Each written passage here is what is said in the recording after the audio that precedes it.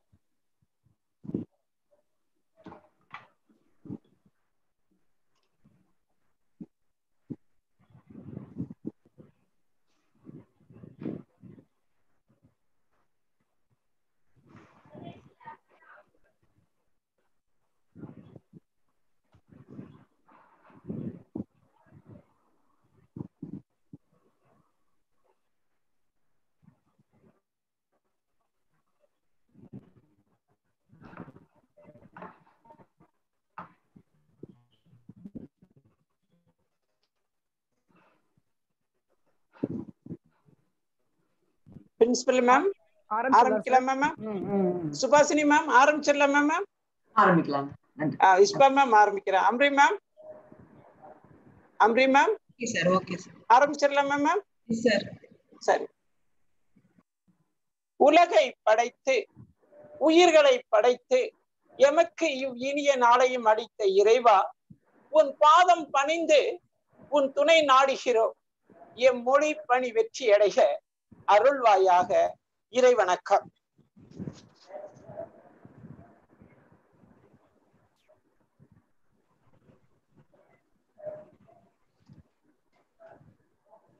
ஐந்து கரத்தனை ஆனை முகத்தனை இந்தில் இளம் பிறை பாலும் ஏற்றனை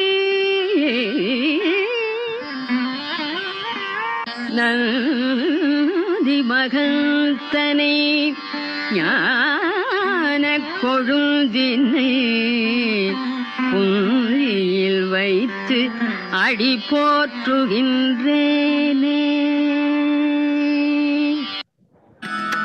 நமஸ்தே.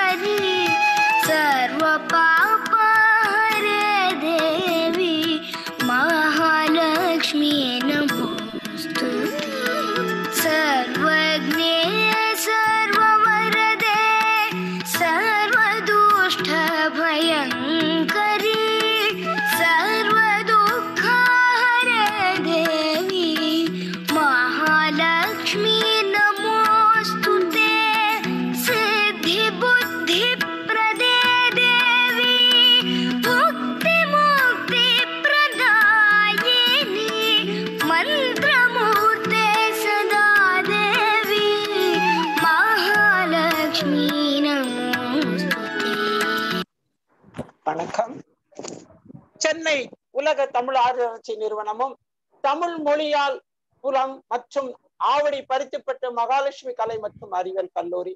தமிழ் துறை இணைந்து நடத்தும் இணையவழி தொடர் பன்னாட்டு ஆசிரியர் திறன் மேம்பாட்டு பயிலரங்கம் மூலம் தமிழ் இலக்கியங்களில் கருத்தாடல் என்ற தலைமையில் ஏழு நாட்கள் ஏழு ஆளுமையில் சிறப்பு செய்கிறார்கள். இன்று நான்காம் நாள் அமர்வுக்கு முனைவர் கா. சுபாசினி தலைவர் தமிழ் மரபு அறக்கட்டளை பன்னாட்டு அமைப்பு ஜெர்மனி அவர்கள். வணிக மேலாண்மை கருத்தாடல் என்ற தலைப்பில் சிறப்புரையாற்ற இருக்கிறார்கள். பார்வையாளர் அனைவருக்கும் என் நன்றி கடந்த வணக்கத்தை தெரிவித்துக் கொள்கிறேன். வாய்ப்புக்காக காத்திருக்காதே.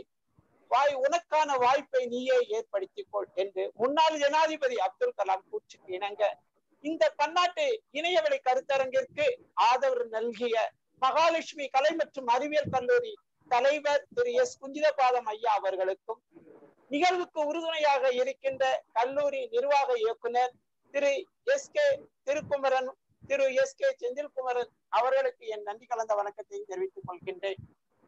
தேசிய கருத்தரங்கம் எம்மால் முடியும் என வழிநடத்தி இன்று ஒருபடி மேலாய் பன்னாட்டு கருத்தரங்கிற்கு உடனிருந்து வழிநடத்துகின்ற கல்லூரி முதல்வர் முனைவர் என் பூமா அவர்களுக்கு என் நன்றி கலந்த வணக்கத்தை தெரிவித்துக் கொள்கிறேன். எங்கள் கல்லூரியில் இணைந்து உறவின் பாலமாக அமைந்து பன்னாட்டு கருத்தரங்கிற்கு இருக்கின்ற முனைவர் ஓ விஜயராகவன் இயக்குனர் உலக தமிழாராய்ச்சி நிறுவனம் ஒளியல் புலம் சென்னை அவர்களுக்கு எங்களது நன்றி கலந்த வணக்கத்தை தெரிவித்துக் கொள்கிறேன். பன்னாட்டு கருத்தரங்கிற்கு பல நிலைகளில் சீரிய சிந்தனையுடன் பல அரிய கருத்துக்களை எடுத்து கூறி பன்னாட்டு கருத்தரங்கு ஒருங்கிணைப்பாளர் முனைவர் என் எஸ் சுலோச்சனா உதவி பேராசிரியர் உலக தமிழாராய்ச்சி நிறுவனம் மற்றும் ஒலியல் புலம் அவர்களுக்கு என் நன்றி கலந்த வணக்கத்தை தெரிவித்துக் கொள்கிறேன். ஆற்றமும் ஊக்கமும் அளித்து சிறந்த முறையில் வழிநடத்தி செல்கின்ற கல்லூரி முனைவர் என் பூமா அவர்களை வாழ்த்துறை வணங்க அன்புடன் அழைக்கின்றேன். வணக்கம் அம்மா. அனைவருக்கும் எனது இனிய காலை வணக்கம். தமிழ் புலவர்கள்னு சொல்றதா என்ன தெரியல. தமிழ்ல ரொம்ப பெரிய ஆட்கள்லாம் உட்கார்ந்துருக்கிற சபையில என்னால என்ன மாதிரி பேச முடியுங்கிறது தெரியல. நான் வந்து ஜஸ்ட் ஒரு முயற்சி தான் பண்ண முடியும். அனைவருக்கும் எனது காலை வணக்கம். எல்லாம் அல்ல இறைவனை தேக ஆரோக்கியமும் நீண்ட ஆயுளும் கிடைக்க பிரார்த்திக்கிறேன். நமக்காக ஜெர்மனியில் இருந்து அவர்களது நேரத்தை நேரம் வர டிஃப்ரென்ஸ் இருக்கும்னு நினைக்கிறேன். ஆனாலும் அது எந்த விதமான ஒரு- ஒரு விதமான கஷ்டங்களும் எடுத்துக்காம நம்முடைய முனைவர் சுபாஷினி அவர்கள் வந்திருக்கிறார்கள். மிகவும் இனிமையாக பழகக்கூடியவராக இருக்கிறார்கள். மிக மிக குறுகிய காலத்திலேயே எங்களுக்கு ஒரு விதமான ஒரு தோழமை ஏற்பட மாதிரி ஒரு உணர்ச்சி ஏற்படுகிறது. நன்றி. உங்களுக்காக மிகுந்த நன்றி மேடம். ஆஹ் எங்க தமிழ் துறையை வந்து வாழ்த்தாம என்னால் இருக்கவே முடியாது. அவர்கள் வந்து ஒரு மாசத்திலேயே முதல்ல தே- அவங்க பண்ணது வந்து ஒரு இந்திய அளவில் தான் ஏதோ ஒரு ப்ரோக்ராம் பண்ணாங்க. ஆனா நானாவே அனௌன்ஸ் பண்ணிட்டேன். உலக அளவுல விவே மிக விரைவில் சொல்லிட்டேன். அதை வந்து வேதவாக்கா எடுத்துட்டு மிக மிக முனைந்து ஐயப்பன் ஐயா அவர்களுடைய தலைமையில் இஷ்பாவுடைய முழு முயற்சியில் துறையில் இருக்கும் மிக மற்ற தோழமைகளுடைய உறுதுணையில் இவர்கள் மட்டுமல்லாமல் முரு- திருமதி சுலோச்சனா அம்மையார் அவர்களுடைய அவர்களும் திரு விஜயராகவன் ஐயா அவர்களும் சேர்ந்து எங்களுக்கு ஒரு உறுதுணையை அறிவித்து எங்களுக்கு ஊக்கமும் ஆக்கமும் அளித்து இவ்வளவு பெரிய ஒரு உலக அளவிய ஒரு நிகழ்ச்சி நடத்தி கொண்டிருக்கிறோம் என்றால் எங்களது முனைவு ஐ மீன் எங்களுடைய குழுமத்தினுடைய சேர்மன் ஐயா அவர்களோ இல்லை நிர்வாக இயக்குநர்களுக்கோ தான் நன்றி சொல்லணும். அவங்களும் உறுதுணையாக இருக்காங்க. இவங்க மட்டுமே இல்லாம மற்ற பங்கு பெற்றோர்கள் வந்து நல்ல ஒரு உறுதுணை அவ்வளவு ஒரு ஆதரவு கொடுத்திருக்காங்க. ஸோ எல்லாருக்கும் எங்களது மனமார்ந்த நன்றிகள். வாழ்த்துக்களுடன் காத்திருக்கிறோம் சுபாஷினி அம்மா ஐ மீன் முனைவர் சுபாஷினி மேடம் உடைய கருத்தாளர்களுக்காக. நன்றி. நன்றி அம்மா. தேன் பல தேனீக்களின் கூட்டு முயற்சி. அதுபோல பன்னாட்டு கருத்தரங்க ஒருங்கிணைப்பாளர் தமிழ்துறை பேராசிரியர் முனைவர் ஏ. இஷ்பா அவர்கள் இனிய குரலால் சிறப்பு விருந்தினரை அறிமுக செய்ய அன்புடன் அழைக்கின்றேன்.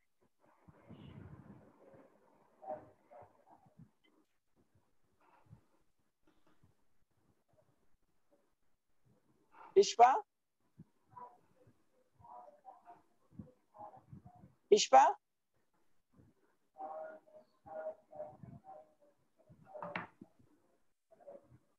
இஷ்பா சார் நீங்களே சொல்லுங்க. கனெக்ஷன் போச்சா என்னன்னு தெரியலையே. இஷ்பா தெரியுதா? மைக் எடுக்கணும் மைக் எடுக்கணும். ஆ. ஆ, இஷ்பா சரி. சொல்றேன் ஐயா. ஆ சரி. அகிலத்தை ஆக்கியாளும் தூயோனின் நெஞ்சினில் தங்கிட வேண்டிடும் துகள் நாம். வாழ்வினில் செய்வினை நீங்கிட செய்து என் வாழ்குல தெய்வமே நீ வரம் தா என்று இறைவனை வணங்கி உங்கள் அனைவருக்கும் எனது அன்பார்ந்த வணக்கத்தினை தெரிவித்துக் கொள்கிறேன். சென்னை உலக தமிழாராய்ச்சி நிறுவனம் தமிழ் மொழி மற்றும் மொழியியல் புலமும் பருத்திப்பட்டு மகாலட்சுமி மகளிர் கலை மற்றும் அறிவியல் கல்லூரியின் தமிழ் துறையும் இணைந்து நடத்தும் இணைய வழி தொடர் பன்னாட்டு ஆசிரியர் திறன் மேம்பாட்டு பயிலரங்கின் நான்காம் நாள் இன்று.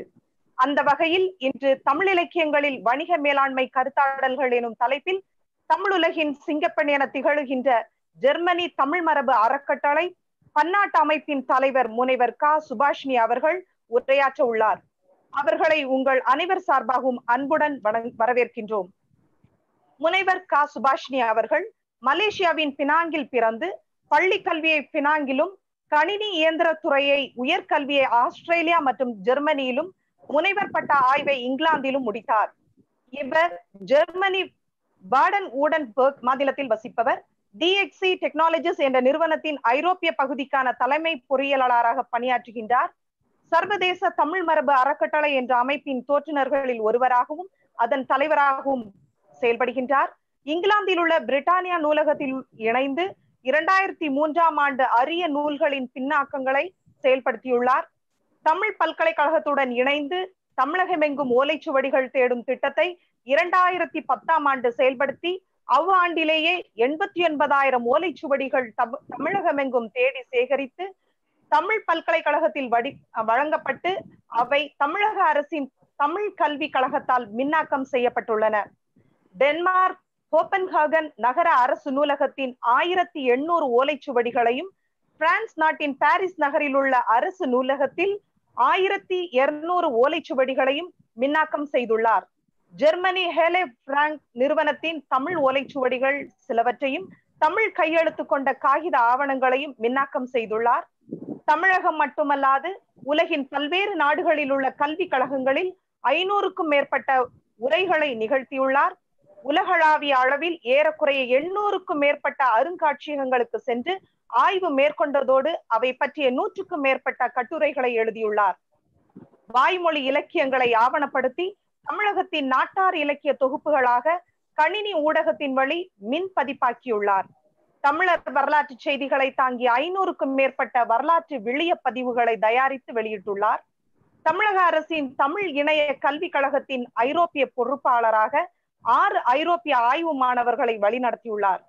மேலும் W W dot Tamil heritage dot org மின் தமிழ் மேடை காலாண்டு ஆய்வுதழின் ஆசிரியர் இவர். தமிழகத்தில் இருந்து வெளிவரும் கணையாளி இலக்கிய இதழின் ஆசிரியர் குழுவில் அங்கம் வகிக்கின்றார். மலையா பல்கலைக்கழகத்தின் தமிழ் பேராய்வு ஆய்விதழின் ஆசிரியர் குழுவிலும் அங்கம் வகிக்கின்றார். உலக தமிழ் பண்பாட்டு இயக்கம் என்ற அமைப்பின் இயக்குனர் குழுவில் அங்கம் வகிக்கின்றார். ஜெர்மனி பேர்டன் உடன்பர்க் மாநிலத்தில் உள்ள ஸ்டுட்ஹார்ட் லிண்டன் அருங்காட்சியகத்தில் நான்கு பனிரெண்டு இரண்டாயிரத்தி பத்தொன்பது அன்று இரண்டு ஐம்பொன் திருவள்ளுவர் சிலைகளை நிறுவும் பணியை நிறைவேற்றினார். இவர் பெற்ற முக்கிய விருதுகள். இரண்டாயிரத்தி பதினாறில் வட அமெரிக்காவின் பெட்னா டூ தௌசண்ட் சிக்ஸ்டி என்னும் நியூ ஜெர்சி தமிழ் சங்க விருதினையும் இரண்டாயிரத்தி பதினேழில் வட அமெரிக்காவில் டல்லாஸ் சாஸ்தா தமிழ் அறக்கட்டளை விருதினையும் இரண்டாயிரத்தி பதினெட்டில் வட அமெரிக்காவின் வாஷிங்டன் தமிழ் சங்க விருதினையும் இரண்டாயிரத்தி பதினெட்டில் தமிழக அரசின் இரண்டாயிரத்தி பதினாறாம் ஆண்டிற்கான மொழியியல் விருதினையும் இரண்டாயிரத்தி பதினெட்டில் ஆஸ்திரேலியா மெல்பர்னில் அக்னி குஞ்சு வாழ்நாள் சாதனையாளர் விருதினையும் இரண்டாயிரத்தி இருபதில் தமிழக அரசின் சிறந்த ஆய்வு நூலுக்கான விருதினையும் பெற்ற மிக பெரும் ஆளுமையாக நம்முடைய காட்சியளிக்கிறார் சிறப்புரையாளர் அவர்கள். இவர் இயற்றிய நூல்கள் இரண்டாயிரத்தி பதினேழில் ஆழி பது பதிப்பகத்தால் வெளிவந்த ஊவேசாவுடன் ஓர் உலா என்ற நூலினையும் இரண்டாயிரத்தி பதினெட்டில் காலச்சுவடு பதிப்பகத்தால் ஜெர்மானிய தமிழியல் நெடுந்தமிழ் வரலாற்றின் ஒரு திருப்புமுனை என்ற நூலினையும் இரண்டாயிரத்தி இருபதில் ஆழி பதிப்பகத்தால் உலக அருங்காட்சிகளினூடே ஒரு பயணம் தொகுதி ஒன்று என்ற நூலினையும் எழுதிய சிறப்பிற்குரியவர். முண்டாசு கவியின் புது புதுமை பெண்ணாய் நிமிர்ந்த நன்னடை நேர்கொண்ட பார்வையும் நிலத்தில் யாருக்கும் அஞ்சாத நெறிகளும் நிமிர்ந்த ஞானச் செருக்கும் கொண்டு திகழ்வதோடு மட்டுமல்லாமல் தரணியெங்கும் தமிழர் நெஞ்சங்களில் உலாவரும் தமிழ் நிலவாய் காட்சி தருகிறார் முனைவர் க. சுபாஷினி அவர்கள். இவர்களை அறிமுகம் செய்வதில் அகமகிழ்வதோடு நம்முடைய இப்போது உரையாற்ற வருமாறு அன்புடன் அழைக்கிறேன். நன்றி பேராசிரியர் அவர்களே. உரை தொடங்கலாமா? ஆ, உரை தொடங்கலாமா? நன்றி நன்றி. மிகுந்த மகிழ்ச்சியாக இருக்கின்றது. முதலில் இந்த நிகழ்ச்சியை நீங்கள் ஏற்பாடு செய்திருக்கின்ற மகாலட்சுமி மகாலட்சுமி மகளிர் கலை மற்றும் அறிவியல் கல்லூரி தமிழ்துறை அனைவருக்கும் இந்த கல்லூரியின் தலைவர் அவர்கள் திரு சு. குஞ்சிதபாதம் ஐயா அவர்களுக்கும் கல்லூரியின் முதல்வர் முனைவர் நா. பூமா அவர்களுக்கும் இணைந்து இந்த கருத்தரங்கை ஏற்பாடு செய்திருக்கும் தமிழ் மொழி மொழியியல் புலத்தின் பொறுப்பாளராக இருக்கின்ற முனைவர் நா. சுலோச்சனா அவர்களுக்கு உலக தமிழராட்சி நிறுவனம். மற்றும் என்னை அஹ், தொடர்பு கொண்டு இந்த நிகழ்ச்சிக்கு கட்டாயமாக உரையாற்ற வேண்டும் என கேட்டுக்கொண்ட முனைவர் ஆ. எஸ்பா அவர்களுக்கும் மற்றும் இந்த நிகழ்ச்சியை ஆரம்பம் முதல் இப்பொழுது அழகாக வழிநடத்தி கொண்டிருக்கின்ற கல்லூரியின் தமிழ்துறை தலைவர் முனைவர் ஆ. ஐயப்பன் அவர்களுக்கும் மற்றும் இந்த நிகழ்ச்சியில் வந்து கலந்து கொண்டிருக்கின்ற உங்கள் அனைவருக்கும் எனது காலை வணக்கத்தை நான் தெரிவித்துக் கொள்கின்றேன். அதாவது இங்கே இப்போது எனக்கு ஏழு ஏழு நாற்பது காலையில் உங்களுக்கு நேரம் பதினோரு பதினைந்து ஆயிருக்கும் என்று நினைக்கின்றேன். உலகத்தின் பல பல பகுதிகளில் இருந்து இப்பொழுது நாம் எல்லோருமே ஒருவரை ஒருவர் பார்த்து கொண்டிருக்கின்ற ஒரு சூழல் வந்திருக்கின்றது. கொரோனா வந்து விட்டதனால் ஏற்பட்ட நன்மை தீமை என்பதை எல்லோரும் அலசி கொண்டிருக்கின்றோம். அதில் நன்மை பகுதியை மட்டும் நாம் பார்ப்போம். எப்போதுமே வந்து ஆப்டிமிஸ்டிக்கா இருக்கிறது எப்பவுமே நல்லது. அந்த வகையில பார்க்கும்போது ஏன்னா காலம் நமது நாட்கள் செல்ல வேண்டும். தொடர்ச்சியாக செல்ல வேண்டும். அப்படி பார்க்கும்பொழுது அதிகமான அதாவது கல்லூரிகள் இப்பொழுது வந்து இணையத்தின் வழியாக வர்றதை நான் பார்க்கிறேன். நிறைய நடவடிக்கைகள் நடக்கிறது பாக்குறேன் தொழில் ரீதியாக நான் கணினி துறையில தான் இரு இருக்கின்றேன். ஆனாலும் அதிகமாக கல்லூரிகள்ல வந்து இணைய வழியான செயல்பாடுகள் இல்லையே என்ற ஒரு ஆதங்கம் முன்னெல்லாம் இருந்தது எனக்கு. ஆனால் இப்பொழுது எல்லோரும் முன் வந்து இந்த மாதிரியான நடவடிக்கை செய்யறது எனக்கு இது ஒரு அருமையான ஒரு நல்ல ஒரு செயல்பாடு என்றே நான் நினைக்கிறேன். இது படிப்படியாக மேலும் பல வளர்ச்சிகளை கல்லூரிக்கு நிச்சயமாக கொடுக்கும். அந்த வகையில பல கல்லூரிகள் இருந்தாலும் உங்கள் கல்லூரி இப்பொழுது இப்படி ஒரு பெரிய முயற்சி எடுத்து எடுத்திருப்பது பாராட்டுக்குரியது. அதோட பின்னணியில் இருக்கின்ற எல்லாருக்கும் எல்லோருக்குமே இந்த பாராட்டுகள் அஹ், சிறப்பாக சென்று சேர வேண்டும் என்றே நான் கருதுகிறேன். எனக்கு எல்லாருக்கும் நிச்சயமா தெரியும் இந்த கடந்த சில நாட்களாக ஒவ்வொரு ஏறக்குறைய ஒவ்வொரு நாளும் உரை என்று இருந்து கொண்டே இருக்கின்றது. அதற்கு இடையிலேயே அலுவலக பணியும் நான் பார்க்க வேண்டிய ஒரு சூழல் இருக்கிறது இந்த உரை முடித்த உடனே நான் அலுவலக பணியை தொடங்க வேண்டும். ஆக ஆனாலும் இந்த கல்லூரி மகளிர் கல்லூரி என்று பெயரை பார்த்தவுடன் நான் எந்த விதத்திலும் முடியாது என்று சொல்லவில்லை. ஏன்னா மகளிர் கல்லூரிக்கு தனி ப்ரையாரிட்டி எப்போதுமே தரணும் என்ற ஒரு எண்ணம் எனக்கு இருக்கின்றது. ஐயப்பன் சார் நீங்க தவறா நினைச்சுக்க வேண்டாம். பெண்களுக்கு வந்து நிறைய விஷயங்களை வந்து சொல்ல வேண்டிய கடமை இருக்கின்றது அப்படின்னு என் மனதில் எப்போதும் ஒரு எண்ணம் இருக்கு- உண்டு. அந்த வகையில் ஆனா நிகழ்ச்சியில பார்க்கும்போது ஆண்கள் பலரும் இருக்கின்றார்கள். பலர் இருக்க வேண்டியது அவசியம் தான் ஆனால் கல்லூரி கல்லூரியை சார்ந்தவர்கள் நிறைய பேர் நிச்சயமாக கேட்டுக்கொண்டிருப்பார்கள் என்று நான் நினைக்கின்றேன். இந்த காலத்துல வந்து அதுவும் இந்த இந்த குறிப்பிட்ட காலத்தில் காலம் என்பது பெண்களுக்கு கிடைத்திருக்கின்ற ஒரு மிகப்பெரிய ஒரு வரம் என்று நான் நினைக்கிறேன். அதாவது எத்தனையோ ஆண்டு காலமாக சங்க காலத்தை பார்க்கும்போது பெண்களுக்கு மிகப்பெரிய அளவிலான ஒரு சுதந்திரம் என்பது இருந்தது. கடல் கடந்து வணிகத்துக்கு கூட அவர்கள் சென்றிருக்கின்றார்கள். எப்படி ஏதாவது சான்று இருக்கான்னா நம்ம வந்து மணிமேகலை எல்லாம் நிச்சயமா சொல்லலாம். அவர் வந்து ஒரு புத்த பிக்குனி தானே அப்படின்னு நம்ம நினைக்க முடியாது. அவரே கடல் கடந்து போயிருக்காருன்னு அவரோட நிச்சயமாக பல பேர் துணையாக சென்றிருக்க வேண்டும். அப்படிங்கிறது தான் இப்ப இருக்க கிழக்காசிய நாடுகள்ல நாம பாக்குற வணிக விஷயங்கள்லாம் நமக்கு வந்து விவரிக்கின்றது இந்த சூழல் நம்ம பார்க்கிறோம். அதாவது சங்க காலத்துல இருந்த அந்த மிகப்பெரிய ஒரு வாய்ப்புகள் எல்லாமே படிப்படியாக பல நூற்றாண்டுகளாக பார்க்கும்போது குறைந்து குறைந்து குறைந்து கடைந்த நூற்றாண்டு வரை வந்து பல்வேறு வகையான சிரமங்களுக்கு பெண்கள் வந்து உள்ளாக்கப்பட்டு பிறகு மீண்டும் ஒரு எழுச்சி என்பது இந்த கடந்த நூற்றாண்டுல வந்திருக்கு. அது மிகப்பெரிய வகையில வாய்ப்புகள் கல்வி வாய்ப்புகள் அப்படிங்கிறது வந்து அந்த கல்வி வாய்ப்புகளை பயன்படுத்தி கொண்டு எந்த வகையில வந்து நாம் முயற்சியை மேலும் மேலும் நாம் எடுத்துக்கொள்கின்றோமோ அந்த வகையில் நம்மளுடைய தனிப்பட்ட வாழ்க்கையில வந்து ஒரு மிகப்பெரிய சிறப்பினை ஒவ்வொரு பெண்ணாலையுமே அடைய முடியும் என்பதற்கு பல சான்றுகளாக இன்றைய சூழல் நம்ம பார்க்கிறோம். இப்பொழுது கடந்த நாற்பது ஆண்டுகளாக நமக்கு தெரியும் இலங்கையில வந்து நடந்த மிகப்பெரிய இனப்பேரிடர் பிரச்சனை வந்ததுனால் எத்தனையோ பேர் புலம்பெயர்ந்தாங்க. இப்போ அந்த மாதிரி புலம்பெயர்ந்து உலகத்தின் எல்லா நாடுகளிலும் இப்ப தமிழ் மக்கள் இருக்கிற ஒரு சூழல் நம்ம பார்க்கிறோம். அப்படி புலம்பெயர்ந்த வந்த மக்களுடைய குழந்தைகள் இங்க பிறந்த குழந்தைகள்லாம் இப்பொழுது அதாவது பல்வேறு பணிகள் அது எந்த நாடாக இருந்தாலும் ஆஸ்திரேலியா நியூசிலாந்து அமெரிக்கா என எந்த நாடாக இருந்தாலும் சரி அவர்களுடைய செயல்பாடுகள் எல்லாம் பார்க்கும் பொழுது அவர்களுடைய திறமைகள்லாம் அவங்க வளர்த்து கொண்டு அரசியல் இருக்கின்றார்கள். மிகப்பெரிய பதவிகளை வசிக்க வகிக்கின்றார்கள். கல்வித்துறையில மிகப்பெரிய பதவிகளை எல்லாம் வசிக்கின்றார்கள் அப்படிங்கிற வகையில எல்லாம் பார்க்கிறோம்.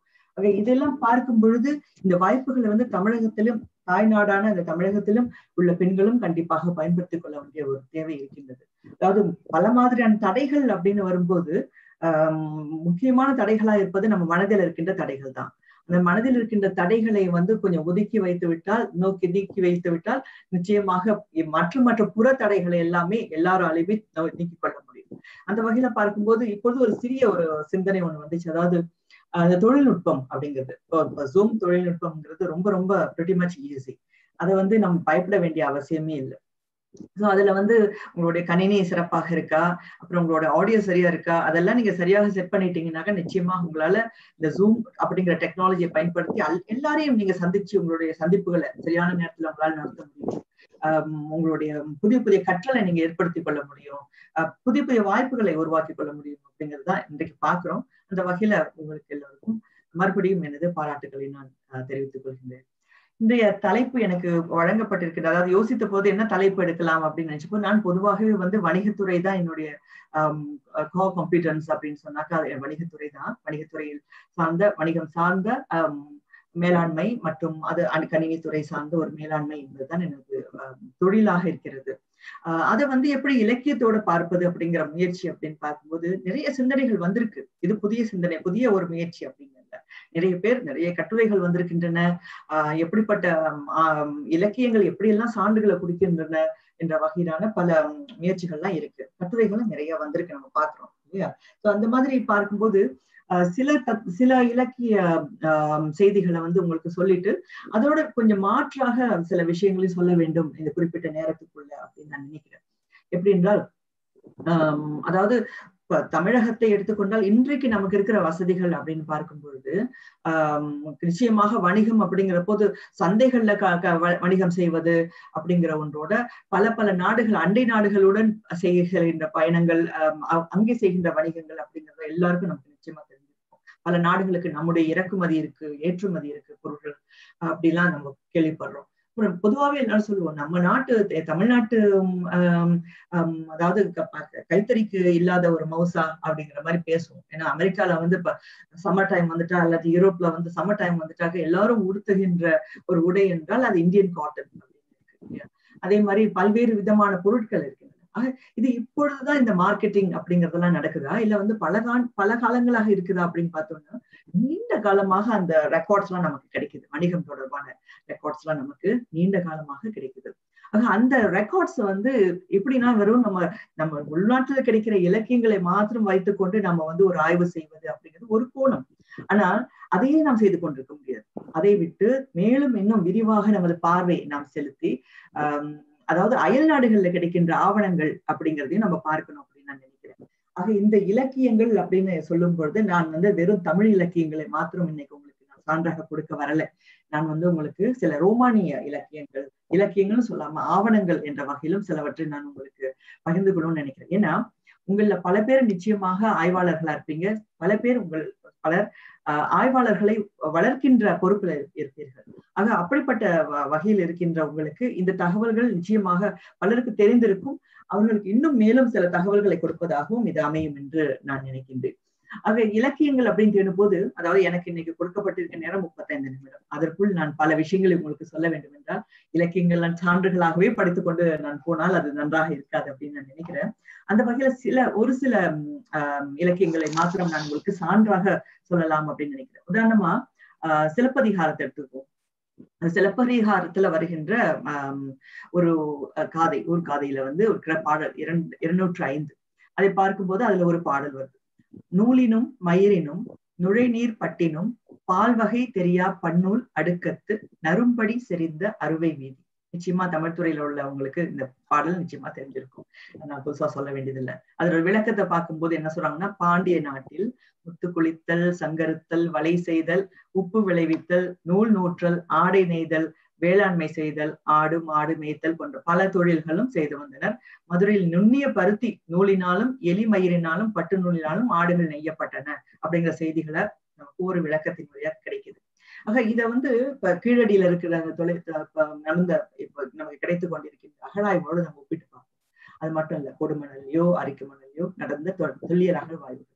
இந்த அகழ்வாய்வுகள் எல்லாம் பார்க்கும்போது நமக்கு பல சான்றுகள் கிடைக்கின்றன. அங்க வந்து தொழில் கூடங்கள் இருந்தன. என்பதற்கு சான்றுகள் நமக்கு கிடைக்கின்றன. அதை பற்றி இன்னொரு தொழில் தொடர்பான விஷயங்கள்ல கலந்துரையாடல் பேசலாம். ஆனா இது வந்து இலக்கிய சான்றுக்கு தொல்லியல் சான்றும் துணையாக இருக்கின்ற ஒரு ஒரு ஒரு அருமையான ஒரு விஷயத்தை நம்ம இங்க பாக்குறோம் இல்லையா? அதே மாதிரி ஆஹ் அகம் அதாவது சங்கத்தமிழ்ல இந்த சங்க இலக்கியத்துல இருந்து ஒரு இரண்டு இன்னொரு பாடல். அதாவது மரப்பூர் பாண்டியர் அறத்திற்காக்கும் கொற்கையும் பெருந்துரை முத்து. முத்தை சிறப்பித்து சொல்கின்றார் அதாவது பாண்டியர் நிலத்துல இருக்கின்ற அஹ் கிடைக்கின்ற முத்தை பற்றி அவர்கள் குறிப்பிடுகின்றார்கள். அதே போல பாண்டியன் புகழ்மழி சிறப்பில் கொற்கை முன்துறை அவர் கதிர் முத்தமோடு வலம்புரி சொரிந்து. அதாவது இந்த கொற்கை அப்படிங்கிற நகர் எல்லாருக்கும் நமக்கு தெரிஞ்ச ஒரு நகர் தான் இன்றைக்கு நமக்கு அவ்வளவு ஒரு முக்கியம் இல்லை அதாவது மதுரை எந்த அளவுக்கு நமக்கு தெரியுதோ அந்த அளவுக்கு கொர்க்கை அப்படிங்கிற நகர் நகர் நமக்கு தெரியல. ஆனால் பாண்டியர் ஆஹ், ஆட்சி செய்த அந்த பண்டைய இரண்டாயிரம் ஆண்டு காலகட்ட அந்த சூழலில் அதாவது சங்க இலக்கியங்கள் எழுதப்பட்ட அந்த காலகட்டத்தில் இந்த கொர்க்கை அப்படிங்கிற நகரம் மிக முக்கியமான ஒரு ஆஹ் ஒரு துறைமுக பட்டணமாக இருந்தது என்பது மாற்ற முடியாத ஒரு அஹ், விஷயமாக இருக்கு. இது வந்து இந்த சங்க இலக்கியத்துல மாத்திரம்தான் குறிப்பாக வைக்கப்பட்டிருக்கின்றதா அப்படின்னு நம்ம பார்த்தோம்னாக்கா இல்ல. இதை பற்றிய குறிப்புகள் ரோமானிய ஆவணங்கள்லயும் இருக்கின்றது அப்படிங்கிறதுதான் நமக்கு கிடைக்கிற ஒரு சிறப்பாக இருக்கு. அதை பற்றி தான் நம்ம கொஞ்சம் அதிகமாக நான் சொல்லலாம் அப்படின்னு நான் நினைக்கிறேன். ஏனென்றால் அந்த துறை பற்றிய செய்திகள் வரும்போதுதான் நான் வந்து ஒரு இன்டர் கான்டினென்டல் ஒரு ரிசர்ச் அப்படிங்கிற வகையில வந்து இரண்டு க- கண்டங்களுக்கான ஆய்வுகள் என்ற வகையில் நம்மளுடைய ஆய்வோட பரப்பை வந்து நான் விரிவாக்கி பார்க்க முடியும் அப்படின்னு நான் நினைக்கிறேன். அதே மாதிரி இன்னொரு சிறப்பான ஒரு இலக்கிய சான்று நான் உங்களுக்கு நான் கொடுக்கணும் அப்படின்னாக்கா எனக்கு மனதில் தோன்றுவது வந்து திருவள்ளுவரின் திருக்குறள் தான். திருக்குறள் வந்து அதாவது அந்த பொருட்பால் எடுத்துப்போமே திருக்குறள் என்னிடம் ஒரு ஒரு பத்து பன்னிரெண்டு வெவ்வேறு விதமான வேர்ஷன்ஸ் நான் வச்சிருக்கிறேன் உரைகளோட வச்சிருக்கிறேன். ஆஹ் அண்மையில வந்து கடந்த ஆண்டு திருவள்ளுவர் சிலைகள் நிறுவின போது கூட மொழிபெயர்ப்பு நூல்களை திருவள்ளுவரின் திருக்குறள் மொழிபெயர்ப்பு நூல்கள் ஜெர்மானிய மொழியில் அது இரண்டு நூல்கள் சென்ற ஆண்டு வெளியிட்டோம். என்னை பொறுத்த வரைக்கும் மிக முக்கியமான தமிழர்கள் எல்லோரும் எல்லா துறையை சார்ந்தவர்களும் அது இல்லறமா இருக்கட்டும் நமது அறம் சார்ந்த விஷயமாக இருக்கட்டும் நமது தொழில் சார்ந்த விஷயமாக இருக்கட்டும் அனைத்திற்குமே வந்து சிறப்பான ஒரு கைட்லைன் ஒரு கைடன்ஸ் அப்படின்னு கொடுக்கக்கூடிய ஒரு நூல் எது அப்படின்னு கேட்டோம்னா அது திருக்குறள் என்ற வகையில எனக்கு அமைகிறது.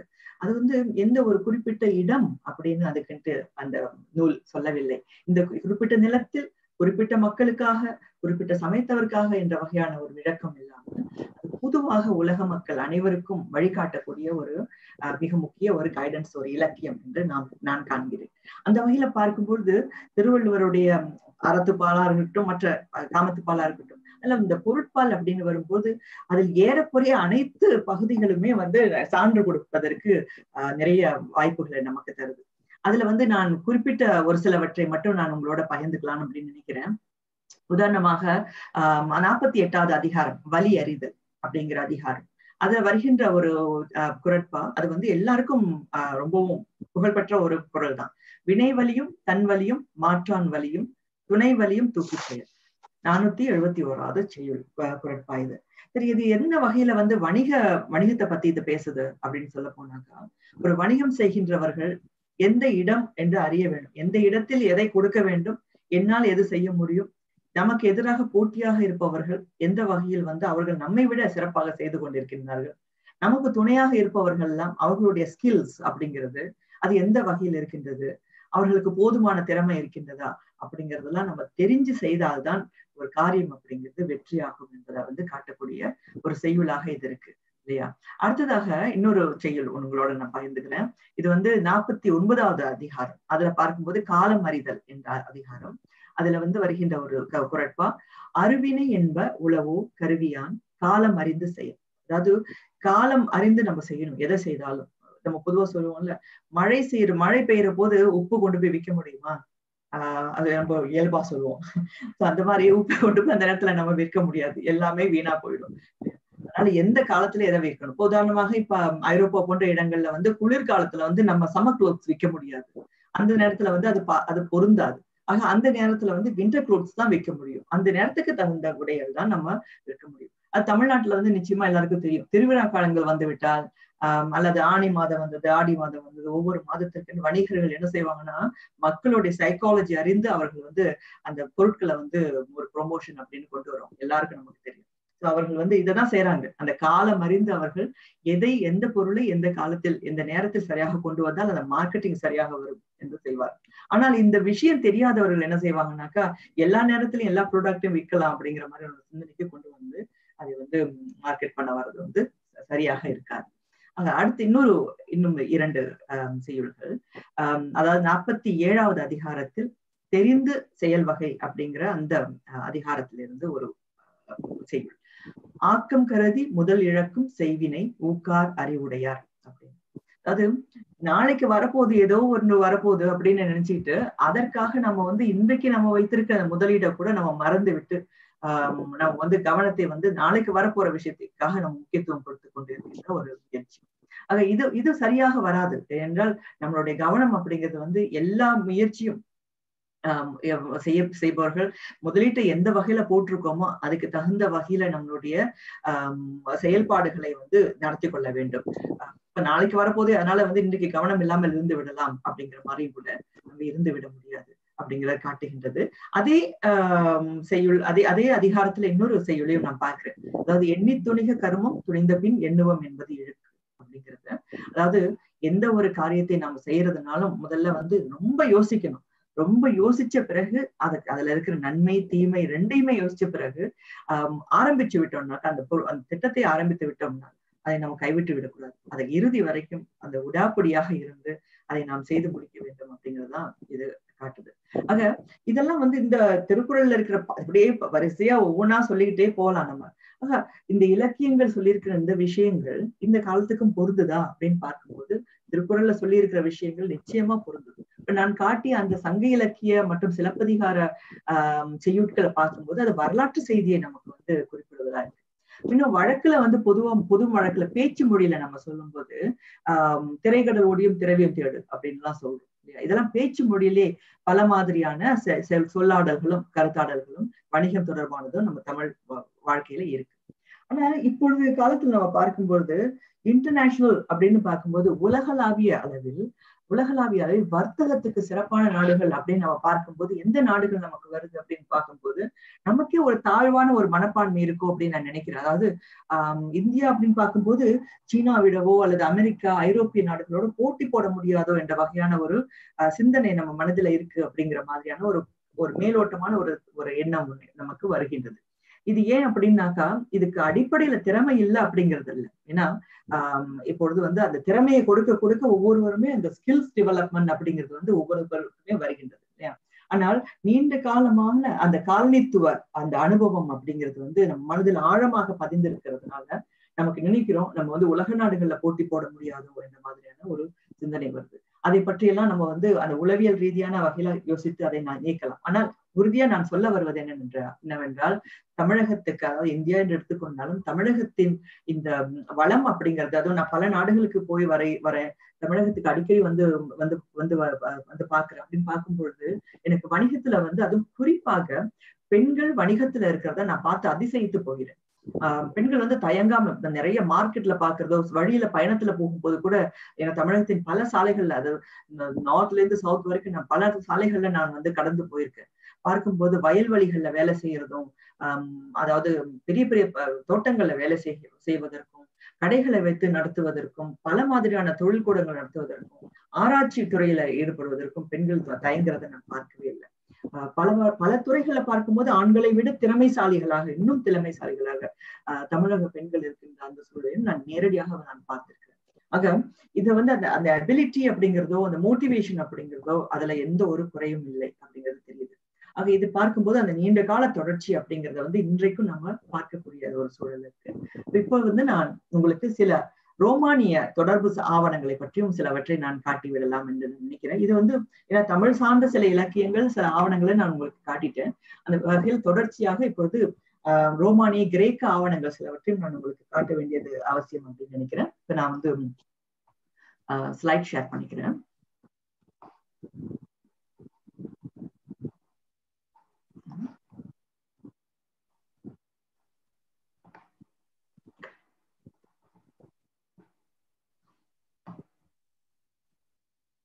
உங்களுக்கு எல்லாருக்கும் தெரியும்னு நினைக்கிறேன்.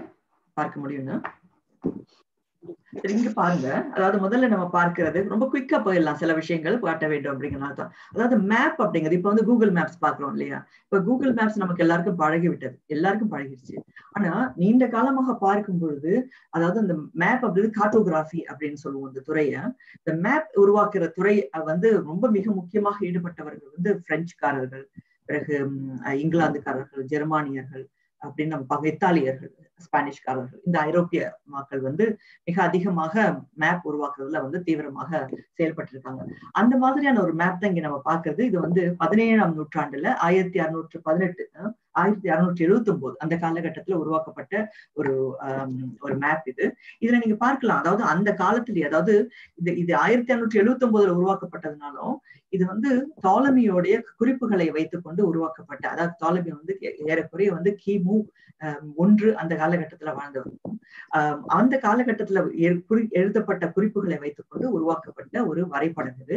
இதுல வந்து அதாவது இந்தியாவின் பல பல இடங்கள்ல இருக்கின்ற நகரங்கள் எல்லாம் சுட்டப்படுவதெல்லாம் நம்ம பார்க்கலாம். நீங்க பார்க்கலாம். இது தரங்கம்பாடி நாகப்பட்டினம் இதெல்லாமே குறிக்கப்படுவதை நம்ம பார்க்கலாம். மசூலிப்பட்டினம் இந்த மாதிரியான ஊர்கள் எல்லாம் நம்ம பார்க்க முடியுது.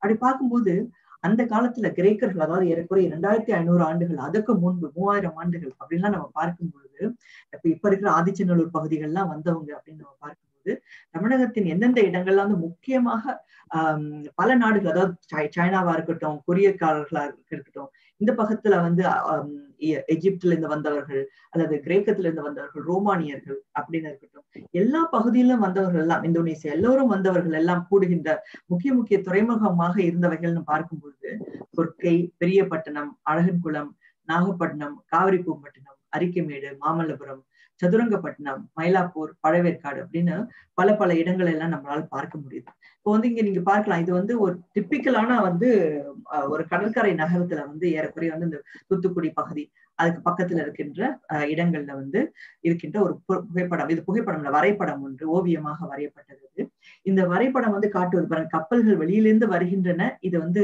ஒரு ஆவணப்படம் இது. ஆவணத்துல இருந்து உண்மையாக தீட்டப்பட்ட ஒரு ஏற்குறைய நானூறு ஆண்டு பழமையான ஒரு ஆவணம் இது. பிலிப் பால்டியோஸருடைய நூல்ல இருக்கின்ற ஒரு ஆவணம். இதுல நீங்க பார்க்கலாம் கப்பல் கட்டி கொண்டிருக்கின்றார்கள். வணிகத்துல செய்யறவங்க இங்க பார்க்கலாம் கடற்துறை துறைமுகத்துல கப்பல் கட்டி கொண்டிருக்கிறாங்க. யானைகள் இருக்கின்றன. யானைகள் வந்து யானைப்பாக நழைத்து அழைத்து போறார் எப்படின்னா அந்த பொருள் வந்து இறங்குது. கடல் ஆற்றங்கரையில வந்து இறங்குது. சின்ன சின்ன தோணிகள்லாம் இருக்கு. அந்த கப்பல்ல இருந்து இறக்கப்பட பொருட்களை யானை வந்து எடுத்து கொண்டு போய் செல்வதாக இந்த காட்சி நம்ம காட்டுவதை பார்க்கலாம். ஏன்னா அந்த காலத்துல வந்து கேமரா இல்ல. இப்ப நமக்கு கேமரா எல்லாம் இருக்கு இல்லையா?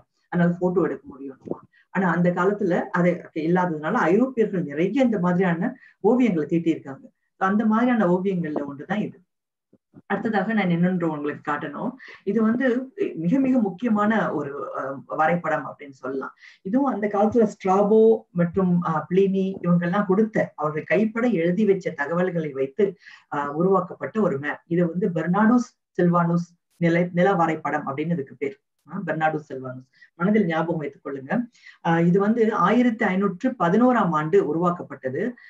பெர்னாடோ செல்வானோஸ் அவர் வந்து அந்த தகவல்களை வைத்து அவர் எழுதுறாரு இதை பார்க்கும்போது இது இந்தியாவை வந்து அவர் அப்படிதான் அந்த சமயத்துல பார்த்தார். ஏன்னா இப்பொழுது நமக்கு ஏறக்குறைய இந்த நீளமான வகையில பார்க்க முடியும். நான் ஏற்கனவே காட்டினது ஆயிரத்தி அறுநூற்றி எழுபத்தி ஒன்பதுல வரைந்த படம். இது அதற்கு முன்பாக நூறு ஆண்டுகளுக்கு முன்பு நூற்றி ஐம்பது ஆண்டுகளுக்கு முன்பு வந்து நில வரைபடம். இதுல வந்து அவர் குறிப்பிடுற பகுதி எல்லாம் இங்க நான் மவுஸ் வைத்து காட்டுற பகுதி தான் வந்து இப்ப இருக்க தூத்துக்குடி பகுதி எல்லாம் அப்படின்னு நம்ம சொல்லலாம். இங்க இந்த பகுதிகள் எல்லாம் சொல்லலாம். இதுல இருந்து இது நாகப்பட்டினம் இந்த பகுதி எல்லாம் வருவதாக இருக்கும். சற்று வித்தியாசமா இருக்கு. ஆனா இது எங்க இது- இது உருவாக்கப்பட்டது அப்படின்னாக்கா ஆஹ் ஆயிரத்தி ஐநூற்று பதினொன்றாம் ஆண்டு இது வந்து இத்தாலியில இருக்க வெனிஸ் நகரத்துல இது உருவாக்கப்பட்டு ஏன்னா அங்க வெனிஸ் நகரம்ங்கிறது ஏன்னா அந்த பகுதியில தான் வந்து கப்பல்கள் அதிகமாக வந்து துறைமுகத்துல இறங்கி பொருட்களை இறக்கி அங்கிருந்து பொருட்கள் எல்லாம் வந்து மறுபடியும் வெவ்வேறு ட்ரேடர்ஸ்ட வந்து பரவலாக கொடுக்கப்படும். அதாவது இந்தியாவோ அல்லது இந்தோனேஷியாவோ எங்கெந்தோ வருகின்ற பொருட்கள் எல்லாம் கொண்டு வரப்பட்டு கப்பல்கள் நிறுத்தப்பட்டு அங்கிருந்து பொருட்கள் நில வழியாக போகின்ற ஒரு நிலைமையை நம்ம பார்க்கிறோம். இந்த தொடர்ச்சியாக வந்து உங்களுக்கு சின்னதாக நான் வந்து ரோமானிய வரலாற்று பத்தி கொஞ்சம் நினைவுபடுத்தணும்னு விரும்புறேன். ஆஹ் இங்க நீங்க பாக்குற புகைப்படத்தை நீங்க பார்க்கலாம். இது வந்து ஒரு ஓனாய் ஆஹ் ஐரோப்பால நீங்க எந்த ஊருக்கு போனாலும் சரி எல்லா முக்கியமான நகர்கள்லயும் இந்த இந்த சின்னங்களை நீங்க வந்து பிரான்ஸ் அதாவது செம்பிளையோ அல்லது வெவ்வேறு விதமான உலோகங்கள்லயோ இதை பார்க்கலாம். இங்க பாருங்க இரண்டு குழந்தைகள் கீழே அமர்ந்துட்டு இருக்க மாதிரி இருக்கும். ஒரு தாய் ஓநாய் ஒன்று அது வந்து பால் கொடுப்பது மாதிரி இருக்கும். இது இது வந்து ஆஹ் என்ன சொல்லுதுனாக்கா புராண கதைகள் எல்லா அதாவது சிவிலைசேஷன்லயும் இருக்கு. இப்ப தமிழ் சூழல்ல மட்டும்தான் புராண கதைகள் அப்படின்னு இல்ல. கிரேக்க சூழல் பிறகு ஆஹ் ரோமானிய சூழல்லையும் வந்து நம்ம பல பல புராண கதைகள் பார்க்கிறோம். அதுல மிக முக்கியமான ஒரு புராணம்னா எப்படி ரோமானிய பேரரசு தோன்றியது அப்படிங்கறது ஒரு புராணம். அந்த புராணம் வந்து எழுநூற்றி ஐம்பத்தி மூன்றுல அதாவது கிமு எழுநூற்றி ஐம்பத்தி மூன்றுல ஆஹ் ரோமுலுஸ் ரெமூஸ் பேரை ஞாபகம் வச்சுக்கோங்க. ரொமுலுஸ் ரெமுஸ் அப்படிங்கிற இரட்டையர் இரண்டு குழந்தைகள் பிறக்கிறாங்க. அவங்கள ஒருவர் தான் வந்து தொடர்ச்சியாக வந்து அதுல இன்னொருத்தர் வந்து அந்த சண்டையிலேயே அவர் கொன்று விடுகின்றார். அதுல வந்து ஒருவர் தான் வந்து ரோமானிய பேரரசின் தொடக்க கால ஆஹ் பிதாமகன் அப்படின்னு சொல்லுவோம்ல ஆரம்பித்து வைத்தவர் அப்படிங்கிற தந்தை அப்படின்னு. அந்த மாதிரியான வகையில இந்த தொடர்ச்சியாக வருகின்றது. அவருக்கு பிறகு வந்து படிப்படியாக பல்வேறு அரசர்கள் வருகின்றார்கள். இவர்களை பத்தி நம்ம கொஞ்சம் தெரிஞ்சுக்கணும். சோ நீங்க எல்லாருமே கேள்விப்பட்டிருப்பீங்க. ஜூலியஸ் சீசர் கேள்விப்பட்டிருப்பீங்க. எல்லாருமே கேள்விப்பட்டிருப்பீங்க. கிளியோபாட்ரா அவரோட தொடர்புடைய எகிப்தின் பேரரசியாக இருந்தவர் அந்த காலகட்டத்துல இல்லையா? சோ அந்த ஒரு காலகட்டத்துல ஜூலியஸ் அடுத்து அவருடைய உறவினரான அகஸ்டஸ் தான் வரார். அகஸ்டஸ் வந்து ரொம்ப முக்கியமான ஒரு மன்னர். அதாவது தமிழக சான்றுகள் எல்லாம் அதாவது தமிழகத்துக்கு வந்திருக்கின்ற வணிக சான்றுகள் எல்லாம் பார்க்கும் பொழுது அதாவது ஆஹ் கரிகால் பெருவளவன் அப்படின்னு சொல்றோம் இல்லையா? கரிகால் சோழன் அவர்லாம் வாழ்ந்த காலம். இந்த கிமு ஆஹ் இரண்டு அந்த காலகட்டம். அந்த காலகட்டத்துல இருந்த முக்கியமான மன்னன் அப்படின்னு சொன்னா ரோமானிய மன்னன் அப்படின்னு சொன்னா அகஸ்டஸ். ஒரே நேரத்துல நீங்க வந்து கம்பேர் பண்ணலாம் இது ரெண்டையுமே.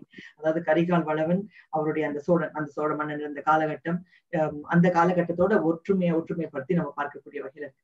இவங்க வந்து இப்ப அகஸ்டஸ்க்கு அடுத்து வரிசையாக ஒவ்வொருவராக கலிகுலா அப்புறம் கிளவுடியஸ் டிபேரியஸ் அப்புறம் நீரோ மன்னன் இறுதியாக அந்த அந்த முதல் டைனஸ்டி என்று சொல்லும்போது நீரோவோட முடியுது. அதுக்கு பிறகு அடுத்தடுத்து வராங்க. இப்ப இவங்களுடைய காலகட்டத்துல நம்ம பார்க்கும்போது என்ன செய்திகள் அவங்களுடைய ஆவணத்துல கிடைக்குது அப்படின்னு பார்த்தோம்னா ரொம்ப ஆச்சரியமா இருக்கு. அதாவது அவங்க என்ன சொல்றாங்கன்னா ஆஹ் இந்த பொருட்களை வந்து எடுத்துக்கொண்டு போகும்போது அதாவது இங்கிருந்து ஏராளமான அதாவது ஆஹ் பெரிய பெரிய புடுவைகள்ல மதுபானங்கள் அதாவது வைன் இன்று நம்ம வைன்னு சொல்றோம் இல்லையா? இந்த மாதிரியான மதுபானங்கள் கொண்டு வர்றது அஹ் வெவ்வேறு பொருட்கள் உலோகங்கள் தங்கம் ஆஹ் என்று பல பொருட்கள் அங்கிருந்து ரோம் ரோம்ல இருந்து கொண்டு வராங்க. இங்கிருந்து அவங்க வந்து இப்ப முதல்ல நம்ம சங்க இலக்கியத்திலையும் சிலப்பதிகாரத்திலும் பார்த்த மாதிரி முத்து பவளம் சங்கினால் செய்யப்பட்ட அலங்கார பொருட்கள் பிறகு வந்து அந்த கைத்தறி அஹ், துணிகளால் துணிகள் நெசவு செய்யப்பட்ட பருத்தி துணிகள் அப்படிங்கிற வகையில ஆஹ், பல பொருட்களை வந்து யானை தந்தங்களால் செய்யப்பட்ட அழகிய பொருட்கள் அப்படிங்கிற வகையில பல விஷயங்களை வந்து ஆஹ், நம்ம பார்க்கிறோம். கேரளா பகுதியை பார்த்தோம்னா முசிறி எல்லாம் வந்து பண்டைய தமிழ்நாடு தான். முசிறி அப்படின்னு பார்க்கும்போது அங்கேருந்து செல்லப்பட்ட மிளகு மற்றும் பல்வேறு ஸ்பைசஸ் என்று இல்லையா? அந்த பொருட்கள் எல்லாமே கூட இந்த பகுதிகளிலிருந்து இங்கே செல் எடுத்து செல்லப்பட்டன. என்ன நடக்கும்னா அந்த காலகட்டத்துல கப்பல்கள் வந்து அஹ் தமிழகத்தின் பல பகுதிகளில் வந்து ஏன்னா அன்றைய தமிழகம் வந்து இன்றைய தமிழக வரைபடத்துல இருக்கிற நிலம் அல்ல. அன்றைய தமிழகம் அப்படின்னு பார்க்கும்போது இன்றைய கேரளா ஆந்திரா கர்நாடகா இதெல்லாம் உள்ளடக்கிய பகுதி தான் தமிழகம். எல்லாம் உள்ளடக்கிய பகுதி தான் அன்றைய தமிழகம். அங்க அப்போ சேரன் சோழன் பாண்டியர் என்ற மூன்று வேந்தர்கள் தமிழ் வேந்தர்கள் ஆண்டார்கள் என்று பல இடங்கள்ல வந்து குறிப்புகள் இருக்கின்றது. இப்ப அப்ப வந்து மலையாள மலையாளியோ அல்லது தெலுங்கர்களோ கன்னடர்களோ தமிழர்களோ அப்படின்னு பிரித்து அப்படி இல்லை. எல்லோரும் தமிழர்கள். மூன்று தமிழ் வேந்தர்கள் அப்படின்னு தான் ஒரிசால இப்ப இருக்கின்ற நமக்கு கிடைக்கின்ற இந்த ஹத்திகும்பா கல்வெட்டு அப்படிங்கிறது நமக்கு காட்டுகிறது. மூன்று தமிழ் வேந்தர்கள் அப்படிங்கிற செய்தி. ஆக இந்த மூன்று தமிழ் வேந்தர்களுடனும் இந்த ஆஹ் இந்த ரோமானிய பேரரசு என்பது தொடர்ச்சியான ஒரு ஒரு வணிக தொடர்பை வைத்திருக்கிறத பார்க்கிறோம். ஆஹ் அதற்கு பிறகு நீண்ட காலத்திற்கு பிறகு கடந்த நானூறு ஆண்டுகள்ல பார்க்கும்போது அதான் நீண்ட ஒரு இடைவெளி வந்து விடுகின்றது. ஆண்டுகளுக்கு பிறகு பார்க்கும்போது அங்கிருந்து அதாவது டச்சுக்காரர்களோ அல்லது ஜெர்மானியர்களோ டேனிஷ் மக்களோ இங்கிலாந்துக்காரர்களோ வரும்பொழுது தமிழகத்துக்கு வரும்போது அவர்கள் தமிழை படித்துக் கொள்வதற்காக அவர்கள் பல நூல்களை ஏற்றுகின்றார்கள் அவர்கள் மக்கள் வந்து தமிழை படித்துக் கொண்டால்தான் இங்க வணிகம் செய்ய முடியும் என்ற ஒரு சிந்தனையுடன் அவர்கள் தமிழ் நூல்களை எழுதி தமிழை பயிற்றுவிக்கின்ற பல முயற்சிகளை மேற்கொண்டிருக்கின்றார்கள் என்பதை நம்ம மறந்து விடக்கூடாது ஆனா இன்றைக்கு நாம என்ன நினைக்கின்றோம் அப்படின்னாக்கா நம்ம நாட்டுக்கு யாராவது வந்து விட்டார்கள் அவர்களுக்காக நாம வந்து நம்ம மொழியை மறந்துட்டு நம்ம அவங்க மொழியில பேசணும் அப்படிங்கிற ஒரு முயற்சி ஒன்றை நம்ம செய்துட்டு இருக்கோம். தமிழ் மொழியிலோட முக்கியத்துவத்தை வந்து நம்ம மறந்து விட்டு தமிழ் மொழியை ஒரு வணிக மொழியாக ஆக்கணும் அப்படிங்கிற ஒரு எண்ணத்தை கூட நம்ம குறைத்து கொண்டு பல மொழிகள்ல தான் நம்ம வணிகம் செய்ய முடியும் போருக்கு. வணிகம் செய்யணும்னாலே நமக்கு வந்து ஆஹ் நிச்சயமாக ஆங்கிலம் தெரிய வேண்டும் போல் இருக்கின்றது அப்படிங்கிற ஒரு சிந்தனை கூட நம்ம இருக்கோம். ஆனா இது ஐரோப்பிய நாடுகள்லாம் அது வந்து அப்படிப்பட்ட ஒரு சூழல் இல்லை. உதாரணமா ஜெர்மனியில இருக்கின்றவர்கள் அனைவருமே ஜெர்மானிய மொழி பேசணும். கண்டிப்பா தெரிஞ்சிருக்க வேண்டிய ஒரு சூழல் பிரான்ஸ்ல இருக்கணும்னா அங்க வந்து நீங்க இங்கிலீஷ் வைத்துக்கொண்டு நம்மால எந்த காரியத்தை செய்ய முடியாது. அங்க பிரெஞ்சு மொழி கண்டிப்பாக எல்லா நிலையிலுமே தெரிஞ்சிருக்க வேண்டும். அங்க வருபவர்கள் பிரெஞ்சு மொழியை தெரிந்து கொண்டு வர வேண்டும். ஒரு சில முக்கியமான விஷயங்களுக்காக மட்டும்தான் இன்டர்நேஷனல் கொலாபரேஷன்ஸ் வரும்போது மட்டும்தான் நம்ம வந்து ஆங்கில மொழியை இங்க பயன்படுத்துகிற சூழல் பார்க்கிறோம். ஆக இதெல்லாம் இந்த ஆவணங்கள்லாம் நான் உங்களுக்கு காட்ட வேண்டியது அவசியம்னு நினைக்கிறேன். அடுத்ததாக இன்னொரு மிக முக்கியமான ஒரு வரைபடத்தை நான் காட்டுறேன். இந்த வரைபடத்துல நீங்க பார்க்கறது வந்து இது வந்து பாய்டிங்கர் மேப் அப்படின்னு சொல்ற ஒரு வரைபடம். ஆயிரத்தி ஐநூற்றி எட்டுல உருவாக்கப்பட்ட இது மிகப்பெரிய ஒரு வரைபடம். இது எப்படின்னா இதுல நான் காட்டியிருக்கிறது தமிழகத்தின் ஆஹ், ஒரு பகுதியை மட்டும் நான் வந்து சின்னதா கிராப் பண்ணி நான் இங்க வச்சிருக்கேன். இதுல நீங்க இந்த பகுதியில பாருங்க. ஒரு வீடு மாதிரி தெரியுதா உங்களுக்கு? ஆஹ், இது ஆயிரத்தி ஐநூற்றி எட்டில் வரையப்பட்ட ஒரு வரைபடம். இங்க நீங்க பாக்கலாம் முசிரிஸ் நம் நான் வந்து எங்க மவுஸ் காட்டுறேனோ நீங்க அங்க பாருங்க. இது முசிரிஸ் அப்படின்ட்டு ஆஹ், ஒரு பெயர் போடப்பட்டிருக்கு. இதுதான் இன்றைய பட்டணம் அப்படிங்கிற நகர். இது இந்த இடத்துல டெம்பிள் அகுஸ்டஸ் அப்படின்னு பாருங்க. இது வந்து இந்த முதல்ல நான் காட்டினேன் இல்லையா? இங்கே இந்த அகுஸ்டஸ் அப்படிங்கிற மண் இந்த மன்னனுக்காக இங்கே வந்து அவர்கள் கட்டிய ஒரு கோயில். அந்த காலத்துல அதாவது கிமு ரெண்டு கிமு ஒன்று அந்த காலகட்டத்துல ஒரு கோயில் ஒன்று அவங்க இந்த இடத்துல வந்து கட்டி இருக்கின்றார்கள் அப்படிங்கறத இது காட்டுகின்றது. ஆனால் அகழ்வாய்வில் இந்த கோயில் கிடைக்கல ஆனாலும் வருங்காலத்துல கிடைக்கும் அப்படின்னு யோசிக்கலாம் ஆஹ் இன்னும் நிறைய அகழ்வாய்வுகள் செய்யப்படும் போது கிடைக்கலாம் அடுத்ததாக உங்களுக்கு குயிக்கா ரொம்ப நேரம் சென்று கொண்டே இருக்கின்றது ஆனால் ஆஹ் ஒரு இன்னொரு முக்கிய மிக முக்கிய ஆவணம் நீங்க தெரிந்து கொள்ள வேண்டியது செங்கடல் வழிகாட்டி அப்படிங்கிற நூல் அதாவது ரீப்ளஸ் ஆஃப் எரித்ரின்சி அப்படிங்கிற நூல் இந்த நூலை பார்க்கும்போது பல பல இடங்கள்ல இப்ப நம்ம சங்க இலக்கியங்கள்ல நாம் காண்கின்ற இதெல்லாம் சங்க இலக்கிய சான்றுகள் உங்களுக்கு போட்டிருக்கேன். தொண்டி என்ற நகரத்தை பற்றியும் ஆஹ் முசிறி என்ற நகரத்தை பற்றியும் அதன் சிறப்புகளை பற்றியும் எல்லாம் இது வந்து ஆஹ் விளக்க விளக்க நமக்கு கொடுப்பதாக இருக்கின்றது. நான் இதுக்குள்ள போகல. ஆனா இந்த தொண்டி அப்புறம் முசிறி அப்படிங்கிற பகுதிகள் எல்லாம் கண்டெடுக்கப்பட்ட ஆவணங்கள்லாம் எங்கெங்கெல்லாம் இருக்கு அப்படின்னு பார்க்கும்போது இது உதாரணமா ஆஹ் இது வந்து முசிரிஸ் பப்பி பப்பிரஸ். நான் இங்க இருக்கிறது. நான் தான். எனக்கு பின்னணியில இந்த இது இதை வச்சிருக்கிறேன் இந்த முசிரிஸ் பப்பிரஸ் அப்படிங்கிறது ஒரு கப்பல்ல என்னென்ன விதமான பொருட்கள் அங் இங்கிருந்து இந்தியாவிலிருந்து கொண்டு செல்லப்பட்டன அந்த கப்பலின் எடை என்ன அந்த கப்பலில் எத்தனை மாலுமிகள் இருந்தார்கள்? இங்கிருந்து அவர்கள் வணிகம் செய்வதற்கு எத்தனை வந்து பொருள் செலவு அல்லது எவ்வளவு வந்து தயாரிப்பு அவர்களுக்கு தேவையாக இருந்தது அப்படிங்கிற விஷயத்தெல்லாம் குறிக்கப்பட்டிருக்கின்ற ஆஹ் ஒரு ஆவணம் இது. இது வந்து ஆஸ்திரியால இருக்கு. ஆஸ்திரியா அப்படிங்கிறது இங்க ஐரோப்பாவில் இருக்கின்ற ஒரு நாடு. அதுல இருக்கின்ற அந்த பின்னணியில பாருங்க எவ்வளவு நீளமான ஒரு ஆஹ் ஒரு ஆவணம் அப்படின்னு. அது வந்து பேப்பரஸ்ல உருவாக்கப்பட்டது. ஆஹ் அதாவது ஓலை இல்ல பேப்பரஸ்ல உருவாக்கப்பட்ட இது ஒரு பழைய ஒரு ஆவணம் அப்படின்னு பாக்குறோம் சோ இதை தவிர்த்து வந்து இன்றைய காலகட்டத்துல நமக்கு தமிழகத்துல இருக்கிற எல்லாருக்கும் வந்து இன்று ஐரோப்பிய வணிகத்துக்கு வந்து ஐரோப்பிய காலங்கள் காலங்கள்ல இருந்த மிக முக்கிய வணிகத்துக்கு சான்றுகளாக எதெல்லாம் இருக்கு அப்படின்னு நம்ம பார்க்கணும்னாக்கா சில நகரங்கள் இருக்கு. அண்மையில இந்த வருடம் நான் போய் எக்ஸ்ப்ளோர் பண்ணி பார்த்தேன்னா நான் அடிக்கடி அதிக பயணம் செய்வேன். அப்படி போய் பார்க்கும் பொழுது எனக்கு கிடைத்த ப- பல நல்ல அனுபவங்கள் அப்படின்னு பார்த்தா சதுரங்கப்பட்டினம். தமிழ்நாட்டுல இருக்க எத்தனை பேருக்கு இந்த இடம் தெரியும்னு எனக்கு தெரியல. சட்ராஸ் அப்படின்னு ரெக்கார்ட்ஸ் எல்லாம் சொல்லப்படுகின்றது. மகாபலிபுரம் நிச்சயமா உங்களுக்கு எல்லாம் தெரியும் இல்லையா? மகாபலிபுரம் கடல் கடலூர் அந்த பகுதிகள். அதற்கு பக்கத்துலதான் இருக்கு இந்த சட்ராஸ் அப்படிங்கிறது. அங்கே ஒரு டச்சு கோட்டை ஒன்று இருக்கு. ஆக டச்சு கோட்டைகள் டச்- டச்சுக்காரர்களுடைய வ- வணிக சான்றுகளாக இருக்கின்ற முக்கியமான பகுதிகள்ல இந்த சதுரங்கப்பட்டினம் அப்படிங்கிறது ரொம்ப முக்கியமான ஒரு இடம். அடுத்ததாக இது வந்து பழவேற்காடுல இருக்கிற இந்த பகு படத்துல பாக்குறீங்க. இது பழவேற்காடுல இருக்கின்ற ஒரு செமெட்ரி டச் செமெட்ரி அப்படின்னு இறந்தவர்களுக்கான ஒரு நினைவு பகுதியாக இருக்கின்றது. ஆனா வெறும் ஒரு கல்லறை தானே அப்படின்னு நினைத்து விட முடியாது. அந்த கல்லறையிலேயே பல ஆவணங்கள் இருக்குது. ஒவ்வொரு செமெட்ரி மேலேயும் பல ஆவண குறிப்புகள் எழுதப்பட்டிருக்கு. அல்ல இதெல்லாம் வந்து இன்றைக்கு அதாவது இந்த ஜனவரி மாதம் நான் எடுத்த புகைப்படம் இது. இந்த வகையான பல இடங்கள் பல சான்றுகள் தமிழ்நாட்டுல வந்து வணிகத்தை காட்டிக்கொண்டு இருக்கின்ற பார்க்கிறோம். அதுக்கு பிறகு மாமல்லபுரம் உங்களுக்கு எல்லாருக்கும் தெரியும். இது வந்து நிச்சயமாக மிக முக்கியமான பகுதியாக அந்த அந்த கடற்கரை பகுதி அனைத்துமே வந்து மிக முக்கியமான ஒரு பகுதியாக நம்ம காணலாம். அடுத்து அஹ், இன்றைக்கு நாம் பார்க்கும்போது க- கடற்கரை பகுதி அதாவது ஆற்றங்கரை பகுதியின் கடற்கரை சோழமண்டல கடற்கரை பகுதியை நம்ம பார்க்கும்போது பல பல வகையில வந்து நாட்டிற்கு மிகுந்த வளத்தை கொண்டு வரக்கூடிய ஒரு பகுதியாக சென்னை தொடங்கி இருக்கின்ற இந்த கடலூர் பகுதி எல்லாமே பார்க்கும்போது பெரிய பெரிய கப்பல்கள் கட்டப்பட்டு இந்த பகுதிகள்ல நாம் பார்க்கும்போது ஆஹ் பல பல பெரிய பெரிய அளவிலான கப்பல்கள் கட்டப்பட்டு வணிகம் அப்படிங்கிறது நன்றாக நடந்து கொண்டிருக்கிறத பார்க்கிறோம். மீன் பிடித்தல் அப்படிங்கிறது மிகப்பெரிய ஒரு வணிக செயல்பாடு. அதாவது உள்ளூர் தேவைக்கு மாத்திரமல்ல அது ப்ராசஸ் செய்யப்பட்டு அயல் நாடுகளுக்கு விற்கப்படுகின்ற பெரிய பெரிய வணிகம். உதாரணமா இந்த ஜனவரி மாதம் நாங்க இருந்த பொழுது தமிழகத்துல இருக்கின்ற சென்னை பகுதியில அந்த காசிமேட்டு பகுதிக்கு போய் கப்பல்கள்லாம் கட்டப்படுற பகுதியை போய் பார்த்து விசாரிச்சு அவங்களோட பேசிட்டு இருக்கோம். அப்படி பேசிட்டு இருக்கப்போ அவங்க சொன்னாங்க ஒரு படகு ஒரு கப்பல் இங்க பார்க்கிற ஒரு கப்பல் வந்து நான்கு லட்சம் வெள்ளிக்கு மேல ஆஹ் இது நான்கு லட்சம் ரூபாய்க்கு மேல செலவாகின்றது ஒன்றை உருவாக்குவதற்கு.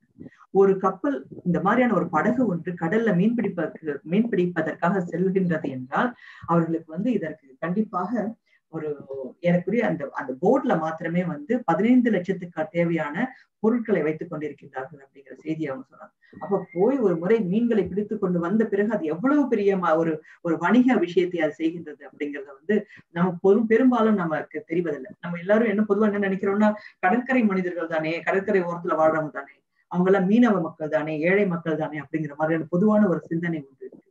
ஆனா அதை அப்படி நம்ம வந்து சர்வசாதாரணமாக விட்டுவிட முடியாது. கடற்கரை ஓரத்துல நடக்கின்ற பல பல வணிக விஷயங்கள் வந்து நாட்டின் வளத்திற்கு அது இந்த இன்று வரைக்கும் அது நீண்ட காலமாக தொடர்கின்றது. இன்று வரைக்கும் நம்ம வந்து அந்த தொடர்ச்சியான அந்த வளர்ச்சியை பார்க்கிறோம். பெண்களும் இப்ப பார்க்கும்போது சர்வசாதாரணமா பார்க்கும்போது அந்த இது சென்னையில நான் பார்த்த ஒரு காட்சி நான் புகைப்பட படமாக எடுத்தேன். ஆண்களோடு பெண்களும் சேர்ந்து வணிகத்தில் தொடர்ச்சியாக அவர்கள் வந்து தங்களுடைய செயல்பாட்டை காட்டிக் கொண்டிருக்கின்ற ஒரு சூழல் தான் நம்ம வந்து தமிழ்நாட்டை பொறுத்த வரைக்கும் நாம் பார்க்க பார்ப்பது ரொம்ப தெளிவாக நமக்கு தெரிகின்றது. ஆக இந்த மாதிரியான செய்திகளோடு நான் உங்களுக்கு இன்றைக்கு வந்து ஏதாவது இலக்கியத்தில் இருக்கின்ற வணிக தொடர்பான செய்திகள் என்று சொல்லி அந்த வணிகத்தின் தொடர்ச்சியை நான் உங்களுக்கு காட்டணும்னு நான் நினைத்தது காரணம் என்னவென்றால் பெண்களுடைய சிந்தனை அப்படிங்கிறது வணிகத்துறையில வந்து மிகவும் தீவிரமாக இறங்க வேண்டும். இந்த வணிகத்திற்கு வரும் வருவதற்கு தன்னை தயார்படுத்திக் கொள்வதற்கு வந்து அவர்களுக்கு தேவையான அது இந்த காலத்தில் நமக்கு தேவையான சில நாலேஜ் அப்படின்னா ஸ்கில்ஸ் அப்படின்னு சொல்ல போனாக்கா அது என்னன்னாக்கா அது முதல்ல வந்து தன்னை தன்னையே வந்து தைரியப்படுத்திக் கொள்வதுதான். எல்லா விதமான வகையிலும் வந்து நடக்கின்ற அதாவது தொழிலை வந்து மேம்படுத்திக் கொள்வதற்கு தன்னையே தைரியமாக வளர்த்துக் கொள்வது. அடுத்தது இருக்கின்ற தொழில்நுட்பத்தை நாம் பயன்படுத்திக் கொள்வது.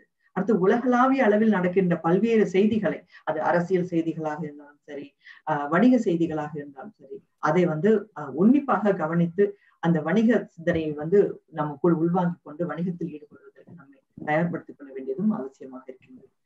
இந்த செய்திகளோடு நான் உரையை முடித்துக் கொள்ளலாம்னு நினைக்கிறேன். கேள்வி பதில் அங்கத்துக்கு போயிட்டு அதுக்கு பிறகு ஆஹ் அதுல கலந்துரையாடல் செய்யலாம் அப்படின்னு நன்றி அம்மா. உங்களுடைய அழகான உடை அழகு தமிழில் தமிழ் உணர்வையும் தமிழ் ஆற்றலையும் எங்களுக்கு அமுது போல ஊட்டியது போல இருந்தது. எங்களுக்காக கலந்து கொண்டது ரொம்ப நன்றிமா இனிமே கேள்வி நேரம் தொடங்குகிறது. அது முனைவர் ஈஸ்பா அவர்கள் தொடங்கி வைப்பார் அம்மா நீங்களாவே கேட்டுக்கோங்க. நீங்க உங்களுக்கு கோகோஸ்ட் தானே நீங்க. ஆஹ் கேள்வி கேட்பவர்கள் நீங்க வந்து ஆஹ் எப்படி எப்படி வருவீங்க? நீங்க வந்து அன்மியூட் பண்ணிக்குவீங்களா? இல்ல கை உயர்த்துறீங்களா? எப்படி செய்வீங்க? கை சோத்தரலாம் மேம் ஓகே இல்ல ஏதாவது சேட்ல போட்டிருக்கீங்களா? சேட்ல இருந்தாலும் சேட்ல இருக்கா? ம். வாழ்த்துக்களாக இருக்கு பெயர்கள் இருக்கு. கேள்விகள் நீங்க சேட்ல போட்டீங்கனாலும் எனக்கு ஈஸியா இருக்கும் நான் படித்து விடலாம். ஓகே கை உயர்த்தவங்க நான் யாரையும் பார்க்க முடியவில்லை. நீங்க கை உயர்த்து நீங்க ஒரு- okay John Sylvia Prema hello okay hello யார் பேசுறீங்கன்னு தெரியல எனக்கு. ஜான் சில்வியா பிரேமா அப்படின்னு ஒரு பேர் இருக்கு. அது வந்து நான் உங்களை கை கை இறக்க சொல்லியிருக்கேன் நீங்க பேசலாம். கேள்வி கேட்கறவங்க நீங்க பேசலாம்.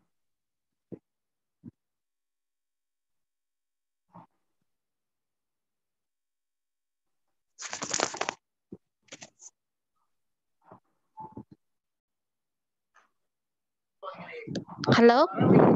ஹலோ சொல்லுங்கம்மா. ஹலோ வணக்கம்மா. வணக்கம். ரொம்ப நல்லா இருந்ததுமா உங்க உரை. நான் தொடர்ந்து உங்களை ரெண்டாவது தடவையா நான் பார்த்துட்டு இருக்கேன். வணிகத்தை பத்தி ரொம்ப நல்லா சொல்லியிருந்தீங்க. இப்போ ஒரு ஆவணம் வந்து காமிச்சீங்கல்லம்மா. ஆஸ்திரியால இருக்குன்னு. அது வந்து எந்த மொழியில எழுதப்பட்டதுங்கம்மா? இது வந்து பண்டைய கிரேக்க மொழியில எழுதப்பட்டதுமா? ஆ நன்றிங்கம்மா நன்றிங்கம்மா. ஒருவேளை தமிழ்ல எழுதியிருப்பாங்களோன்னு ஒரு சந்தேகத்தான் தமிழ்ல எழுதிய ஆவணங்கள் இப்ப நமக்கு நிறைய கிடைக்குதுல்ல? மண்பாண்டங்கள்ல எழுதப்பட்ட கீரல்களா எகிப்துல எல்லாம் கிடைச்சிருக்கு. நான் அந்த படத்தை போடல இதுல. ஆனா தமிழ்ல எழுதப்பட்ட அதாவது தமிழகத்துல இருந்து எழுதப்பட்டு தமிழகத்துல உருவாக்கப்பட்ட பானைகளை வைத்து கொண்டு செல்லப்பட்ட பொருட்கள் அங்கே போகும்பொழுது அங்கே கிடைத்த அந்த அகழ்வாய்வுல கிடைத்த சான்றுகள் கிடைத்திருக்கு. எகிப்துல கிரேக்கத்துல எல்லாம் கிடைச்சிருக்கு. ஆம், இன்னொரு வாய்ப்பு வரும்பொழுது நான் உங்களுக்கு அதை காட்டலாம். அல்லது நம்ம எங்க வலைப்பக்கத்துலயும் பார்க்கலாம். அந்த செய்திகள்லாம் இருக்கு. பார்க்கலாம். நன்றிங்கம்மா. இன்னொரு கேள்வி. கேரளா பகுதியில வந்து வாணிகம் செஞ்சாங்கன்னு சொன்னீங்க. அங்க வந்து தமிழ் தான் பேசுனாங்களா?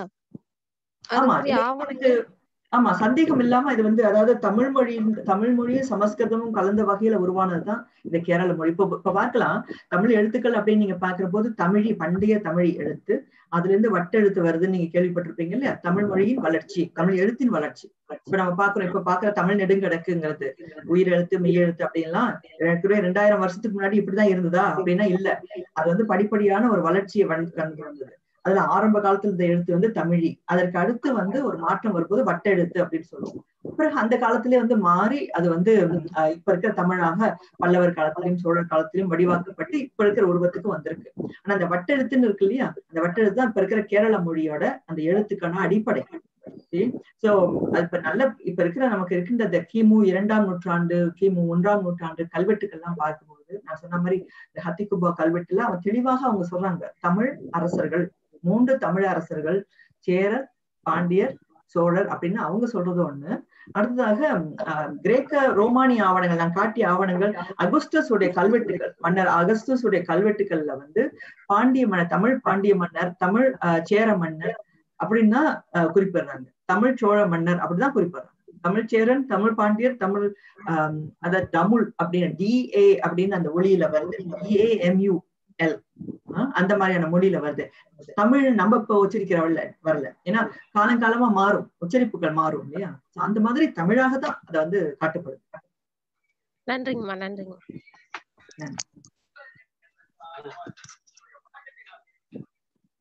அடுத்து கிறிஸ்டி நினைக்கிற கிறிஸ்டி நீங்க வந்து பேசலாம். கிறிஸ்டி அருள் செல்வி. ஆ வணக்கம்மா. வணக்கம்.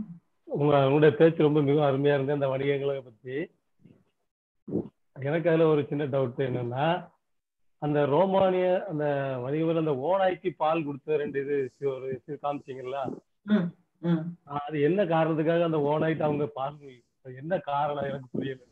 இப்ப அதாவது புராண கதைகள் எடுத்துக்கோங்க இப்ப உதாரணமா கிமு ஒன்றாம் நூற்றாண்டுல தான் என்ன நினைச்சாங்கன்னாக்கா ரோமானியர்களுக்கு வந்து அவங்களுக்கு மிகுந்த ஒரு பெரிய ஒரு ரெவல்யூஷன் செய்தாங்கன்னு சொல்லலாம். ஆனா அவங்களுக்கு இப்ப நமக்கு இருக்கு இல்லையா? நம்ம சூழல்ல எவ்வளவு கடவுள்கள் வச்சிருக்கிறோம் எவ்வளவு புராணங்கள் வச்சிருக்கோம். அந்த மாதிரி கிரேக்கர்களும் சரி ரோமானியர்களும் சரி அதிகமான கடவுள்களை வச்சிருந்தாங்க. இப்ப நீங்க இங்க வந்தீங்கன்னா ஐரோப்பாவுக்கு வந்தீங்கன்னாக்கா பல இடங்கள்ல பல பல முக்கியமான சிட்டிஸ்ல எல்லாமே நீங்க ஜிஎஸோட சிலையும் டயானாவோட சிலையும் டயானா சார்ல்ஸோட மனைவி நினைச்சிடாதீங்க டயானாங்கிறது வந்து தெய்வம்.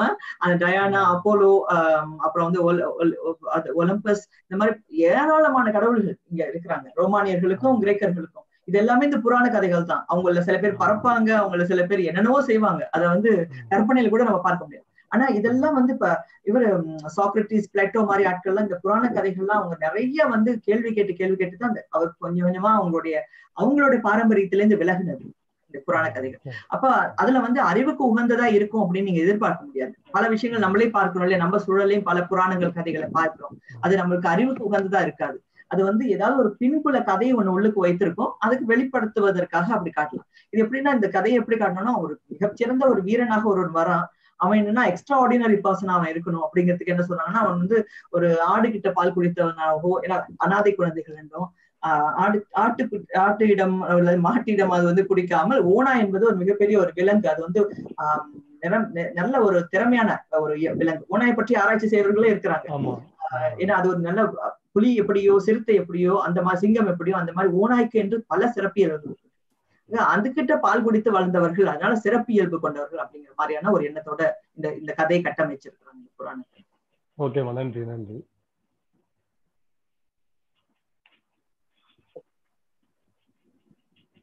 நேரத்துலயும் கேள்விகள் இருக்கு. என்ன நீங்க படிக்கிறீங்களா? கேள்வி படிக்கிறீங்களா? இருந்ததுன்னா சதுரங்க ஆஹ் சதுரங்க பட்டணத்திற்கு வேறு பெயர் ஏதேனும் உண்டா? இரட்டையர்கள் பெயர் சரியாக கேட்கவில்லை. ஆஹ், ரொமுலுஸ் ரெமுஸ் இதான் இந்த ரெட்டையர்கள் பெயர். ரொமுலுஸ் ரெமுஸ் ரெண்டும் அடுத்த சதுரங்க பட்டணத்துக்கு வந்து சட்ராஸ் அப்படின்னு ஒண்ணு சொல்றாங்க. அப்புறம் இன்னொரு பெயர் ஒண்ணு இருக்கு. ஆஹ், எனக்கு இப்போது திடீர்னு ஞாபகம் வரல. இன்னொரு பெயர் ஒண்ணு இருக்கு. நீங்க என்ன பண்ணுங்க? இணையத்துக்கு போயிட்டு நெட்ல இன்டர்நெட்ல நீங்க சட்ராஸ் அப்படின்னு சொல்லிட்டு இன்டர்நெட்ல தேடி பாருங்க. ஆர்டிகல்ஸ் வரும். எனக்கு திடீர்னு ஞாபகம் வரல. அது வந்து அதாவது பாண்டியர்கள் உடைய ஆவணங்கள்ல ஆஹ், இது இந்த நகரம் வந்து வேறு பெயர்களில் குறிக்கப்படுகிறது. ஆனா இப்பொழுது நமக்கு வந்து இப்ப நான் வந்து இந்த ஜனவரி மாதம் நான் போன போது சதுரங்கப்பட்டினம் சட்ராஸ் அப்படிங்கறத தேடித்தான் மேப்ல தேடித்தான் நான் போனேன். சாதாரணமா சாலையிலேயே நான் பயணம் செய்து போனேன். அதனால இருக்கு பேர் இருக்கு. அதுக்கப்புறம் கீழடி அகழ்வாய் கீழடி அகழ்வாய்வில் இது தொடர்பாக ஏதேனும் சான்றுகள் கிடைத்துள்ளனதா? எதை பற்றிமா இது தொடர்பான எதை பற்றி? அது அது அவங்க குறிப்பிடல. இது தொடர்பாக ஒருவேளை நம்ம இந்த பேச்சோடைய சாராம்சத்தை வச்சா என்னன்னு தெரியல. இப்ப கீழடி அகழ்வாய்வுல உங்களுக்கு கிடைத்திருக்க அதாவது பல எனக்கு எப்போது இந்த புத்தகம் இருக்கும். இது வந்து அண்மைய வெளியீடு இல்லையா? இந்திய மொழிகள் அனைத்திலும் வெளிவந்த ஒரு நூல். கீழடியை பற்றி. எல்லாரும் நீங்க எல்லாரும் வச்சிருக்க வேண்டிய ஒரு நூல் இது. சிறிய நூல் தான் நிச்சயமா வாங்கிக் கொள்ளுங்க. இது வரைக்கும் இல்லைன்னா இந்திய தமிழக தொழில் துறையில கேட்டு நீங்க வாங்கிக்கொள்ளலாம். இதற்குள்ள வந்து எல்லா விதமான என்னென்னவெல்லாம் கிடைத்தன அஹ், பொருட்கள் எல்லாம் கிடைத்த எல்லா பொருட்களும் இதை பற்றிய செய்திகள் எல்லாம் உங்களுக்கு கொடுக்கப்பட்டிருக்கு. வணிகள் வகையாக இருந்தாலும் சரி பல்வேறு வகையான பாண்டங்கள் பொருட்கள் வணிகம் செய்யப்பட்டவை அப்படின்னு நீங்க வந்து எல்லா விதமான தகவல்களும் இந்த நூல்ல நீங்க பார்க்கலாம்.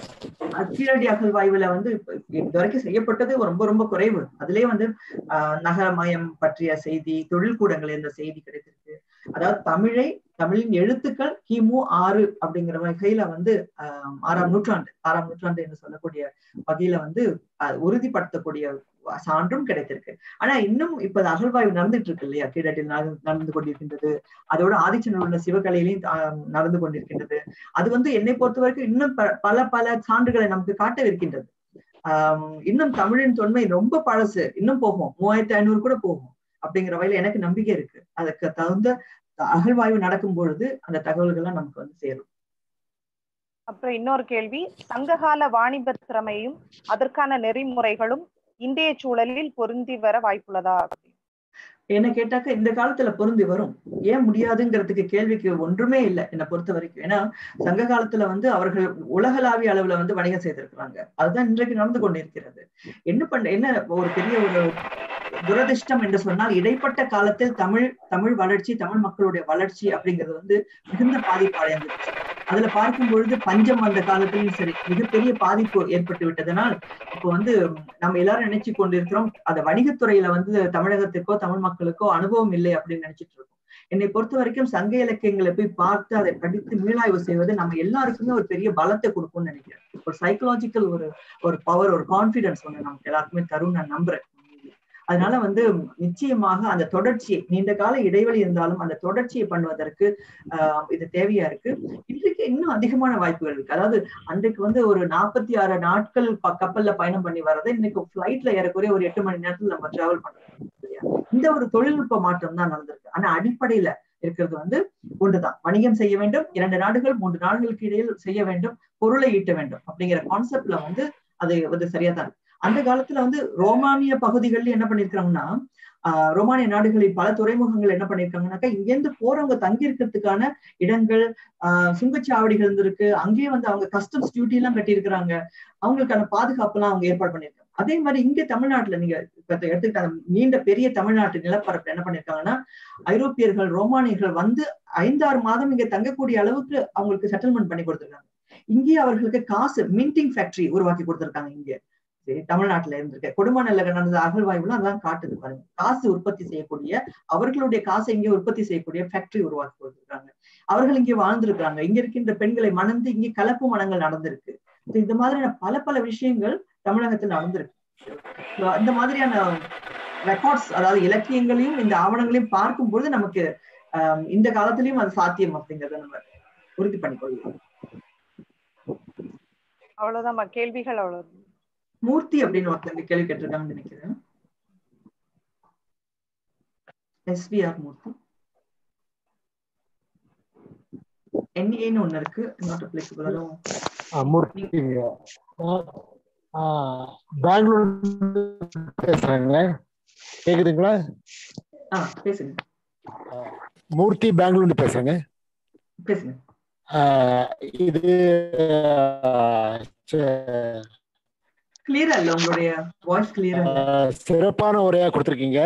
சைனாவோட நம்ம வணிக சைனாவுடைய நம்ம வணிக உறவு எப்படி இருந்தது? கொஞ்சம் சொல்ல முடியுங்களா? சீனாவோட சீனாவோட. தமிழ்நாடு உறவு. மிக நல்ல வகையில இருந்தது அதாவது இந்த பட்டுப்பாதை அப்படிங்கிறது இருக்கு இல்லையா?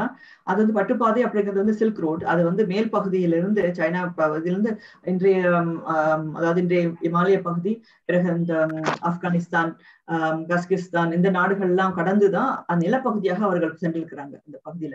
இன்றைக்கு கூட நீங்க பார்க்கலாம். அதாவது பல டாக்குமெண்ட்ரிஸ்ல வந்து ஏன்னா பௌத்தம் வந்து இந்தியாவில இந்தியால பிறந்தது தானே பிறந்ததுதான் பௌத்தம் அந்த பௌத்தம் வந்து பரவ ஆரம்பிச்சது சைனாவுக்கு பரவ ஆரம்பிச்சது கொரியாக்கெல்லாம் பரவ ஆரம்பிச்சது கடல் வழியா மட்டும் இல்ல நிலப்பகுதியாவும் வளர்ந்தது அப்படி பார்க்கும்போது இந்த சில்க் ரோட்ல வந்து குகைகளுக்குள்ள மணலினால் செய்யப்பட்ட பௌத்த சிற்பங்கள் நிறைய நிறைய பௌத்த சிற்பங்களை நம்மளால பார்க்க முடியுது. நல்ல டாக்குமெண்ட்ரிஸ். அது சில்க் ரோட்ல இருக்கு. சோ இப்போ வந்து எக்ஸ்ப்ளோர் பண்ண பண்ண பல அதிசயங்கள்ல பல தகவல்கள் அது கொடுத்துருப்பாங்க ஆனா அப்ப அந்த காலத்துல என்ன ஆயிருக்குன்னா இப்போ உதாரணமா மார்க்கோ போலோ என்ன செய்யறாரு இத்தாலியில இருந்து அவருடைய குரூப் வந்து அவங்க இது வந்து நிலப்பகுதியில நிலமா நில வழியில போறாங்க. குதிரைகள்ல போயிட்டு பிறகு அங்கிருந்து ஒட்டகங்கள் எடுத்துட்டு அப்படியே போறாங்க. அது பதிமூன்றாம் நூற்றாண்டு காலகட்டத்தில். அப்படியே போகும்பொழுது அவர்கள் வந்து மங்கோலியால இருந்து ஜெங்கிஸ்கான் அவருடைய அவையில இருந்து ஒரு இருபது ஆண்டு காலம் அவர் அவங்களுடைய தூதரா இருந்தார் ஏன்னா அவங்க ரெண்டு பேருக்கு இடையில வணிக தூதுவரா இருந்து அவர் செயல்படுறாரு. அதுக்கு பிறகு திரும்பி போகும்போது அவர் என்ன செய்யறாருன்னா கடல் வழியா தான் வர்றாரு மார்க்கோ போலோ. இப்ப கடல் வழியா வரும்போது அங்க இருந்து சைனால இருந்து கப்பல் வந்து நேரா வந்து கொர்க்கைக்கு தான் வந்து இறங்குது. கொர்க்கையில வந்து இறங்கி இங்க வந்து அவர் பாண்டிய நாட்டு எப்படி இருந்தது அப்படிங்கிற பத்தி எல்லாம் அவரோட நூல்ல வந்து விவரிக்கிறாரு. அவர் சொல்றப்போ என்ன சொல்றாருனாக்கா அந்த மன்னர்கள்லாம் எப்படி இருந்தாலும் இப்ப நம்ம சினிமா படங்கள்ல பார்ப்போம் தெரியுமா? ஜிகு ஜிகுன்னு ட்ரெஸ் பண்ணிட்டு அப்புறம் தலையில கிரவுன் எல்லாம் மாட்டிட்டு அப்படிலாம் இருக்க மாட்டாங்க. மன்னர்கள் எப்படி இருப்பாங்கன்னா வெள்ளை நிறத்துல தான் வேட்டி. அவங்களுடைய அமர்ந்து இருக்கிறது அவர் சொல்றாரு அந்த குறிப்பில் எழுதுறாரு. அவங்களுடைய சிற்றரசர்கள் எல்லாம் பார்க்க பாக்குறது போது அவர்களுக்கு ஒரு திட்டு மாதிரி ஒரு ஒரு ஒரு மேடை மாதிரி அவங்களுக்கு கூட போடப்பட்டிருக்கும். அவங்க வெள்ளாடி உடுத்திருப்பாங்க வெள்ளை கடல்ல வந்து வெள்ளை நேரத்துல வந்து போட்டிருப்பாங்க. மேல ஒரு துண்டு மாதிரி ஒண்ணு போட்டிருப்பாங்க அப்படிங்கிற மாதிரி சொல்ற. இப்ப திரைப்படத்துல வர மாதிரி நம்மளுடைய மன்னர்கள் எல்லாம் நம்ம யோசிச்சு கொள்ளவே வேண்டாம். அந்த கர்ணன் படம் எல்லாம் பார்த்ததாக நமக்கு மனசுல ஞாபகம் இருக்கும். மன்னர்கள் எல்லாம் இருந்தாங்க பாருக்கு அப்படின்னு. அந்த மாதிரி எல்லாம் இல்லாம மக்கள் எப்படி இருந்தாங்க? பெண்கள் வந்து சாலையில பணியாரம் செய்து வித்து கொண்டிருக்கின்ற விஷயங்கள்லாம் வந்து அவர் சொல்றாரு. பணியாரம் செய்து பெண்கள் வியாபாரம் செய்தாங்க அப்படிங்கிற குறிப்பெல்லாம் அவர் சொல்றாரு. அப்ப இது ஏன் சொன்னேன்னா சைனாக்கும் இதுக்கும் தொடர்பு இருந்ததுன்னா இருந்தது. சைனிய சைனீஸ் வணிகர்கள் இங்க வந்திருக்காங்க.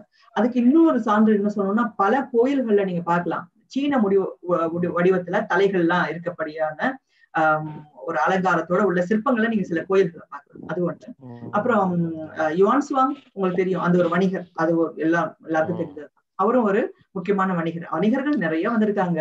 அஹ், நல்ல வணிகம் செய்திருக்காங்க. இங்க பீங்கான்கள்லாம் கிடைக்குது பாருங்க. சைனாவுடைய பீங்கான்கள்லாம் இங்க அகழ்வாய்வுல கிடைக்குது. அதனால நீண்ட கால தொடர்பு அப்படிங்கிறது சைனாவுக்கு இருந்து ரொம்ப நன்றிங்க நன்றி.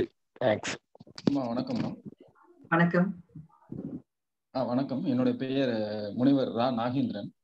வணக்கங்க. ஆமா ரொம்ப மிகச்சிறந்த உரை.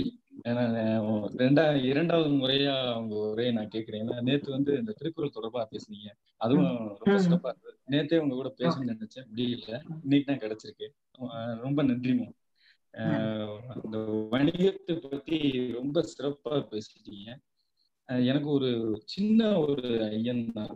ஏன்னா நான் வந்து கௌரவையாளரா இருக்கேன். மதுரை காமராசர் பல்கலைக்கழக உறுப்பு ஒரே ஒரு சின்ன சந்தேகம் வழக்கம் கூட இல்லை அப்படின்னு சொல்லி பெண்கள் வந்து கடல் கடந்து போக மாட்டாங்க அப்படின்னு சொல்றாங்க. ஆனா நீங்க அந்த மணிமே மணிமேகலையை வைத்து நீங்க சொன்னீங்க. அஹ், போயிருக்கிற வணிகம் போயிருக்குன்னா அந்த அவங்க வந்து சமயப்பா அப்படிங்கிற போயிருக்காங்களா இல்ல வணில போயிருக்காங்களா? அப்படிங்கிறது எனக்கு கொஞ்சம் ஒரு ஐயப்பாடான ஒரு கேள்விதாங்கம்மா. அதுக்கு பதில் சொல்லுங்க. ஓகே எனக்கு எனக்கு உறுதியாக தெரிகிறது. ஆஹ் நான் இப்ப உங்களுக்கு சில விஷயங்களை காட்ட முடியலைனாலும் உறுதியாக தெரிகிறது பெண்கள் வந்து வணிகத்திற்காக கடல் கடந்து போயிருக்காங்க. அது கேள்வியே இல்லை. ஏனென்றால் தமிழக தொடர்பு அப்படிங்கிறது ஆசிய நாடுகள் கிழக்காசிய நாடுகள்ல இப்போ உதாரணமா எடுத்துக்கிட்டோம்னா தாய்லாந்து கம்போடியா ஆஹ் பிறகு இலங்கை அஹ் மலேசியா இந்தோனேஷியா அப்படிங்கிற பார்க்கும் பொழுது ஆஹ் மிக அதிகமாக வணிகம் செய்திருக்காங்க. அந்த பௌத்தம் பரவிய காலம் ஆரம்ப காலம் அதாவது ஆஹ் அந்த சங்கமித்திரை அவங்க வந்து அவங்க இலங்கைக்கு போறாங்க. அங்கிருந்து தொடங்குது. மிகப்பெரிய வகையில வந்து பெண்கள் பயணிக்கிற அப்படி ஒரு சூழல் அப்படிங்கிறது. அதாவது ஆஹ் வெறும் சமய சார்பாக மாத்திரம் போனாங்கிறது அதாவது பௌத்தம் ஒரு வணிக மதம். அதை மறந்துட முடியாது. அரசியலும் வணிகமும் சார்ந்த ஒரு ஒரு இன்ஸ்டிடியூ இன்ஸ்டிடியூஷன் அப்படிங்கிற வகையில் சொல்லலாம் பௌத்தம் அப்படிங்கிறது. ஸோ நீங்க பார்க்கலாம். இப்போது கிழக்காசிய நாடுகள் அனைத்துமே பௌத்த நாடுகள் தான். மலேசியா இந்தோனேஷியா தவிர அது கூட கடைசியா ஏற்கனவே ஒரு நானூறு ஐநூறு ஆண்டுகளுக்கு முன்பு தான் அது இஸ்லாமிய நாடாக மாறியது. மற்ற அனைத்து கிழக்காசிய நாடுகளுமே அது பௌத்த சான்றுகள் தான் பௌத்த மதம் சார்ந்த ஒரு நாடுதான் அப்படின்னு பார்க்கிறோம். அதுல வந்து ஆஹ் பௌத்தம் போன போது எல்லாம் வணிகர்களோடயே போனது. வணிகர்கள் கூட்டமாகத்தான் போவார்கள். ஆக அவர்கள் செல்லும் பொழுது அவர்கள் குடும்பத்தார் அவர்கள் வணிகம் செய்தார்கள் அப்படிங்கிறதுல எந்த சந்தேகமும் இல்லை. ஆஹ் இங்க மாத்திரம் இல்ல நிச்சயமாக அவர்கள் ஐரோப்பா வரைக்கும் கூட போயிருப்பாங்கிறது எனக்கு தனிப்பட்ட வகையில வந்து சந்தேகம் இல்லை. ஏன்னா பெண்களுடைய அரசவையில பார்க்கும்பொழுது ஆஹ் நம்ம சங்க இலக்கியங்கள்லாம் பார்க்கும்போது பெண்பார் புலவர்கள் எல்லாம் பார்க்கும்போது ஔவையார் அப்படின்னு நம்ம நினைக்கும் போது என்ன நினைக்கிறோம்? கற்பனையில் ஔவையார்னா ஒரு பாட்டி போருக்கு அப்படின்னு நினைக்கிறோம். ஔவையார் பாட்டி இல்ல. அவை பாட்டி இல்ல. அவங்க வந்து ஒரு சாதாரண ஒரு மிடில் ஏஜ்ல இருக்க ஒரு லேடி தான். ஒரு இருபத்தஞ்சு முப்பது முப்பத்தஞ்சு நாற்பது வயசுல இருக்க ஒரு இன்டலெக்சுவல் லேடி தான் அவங்க.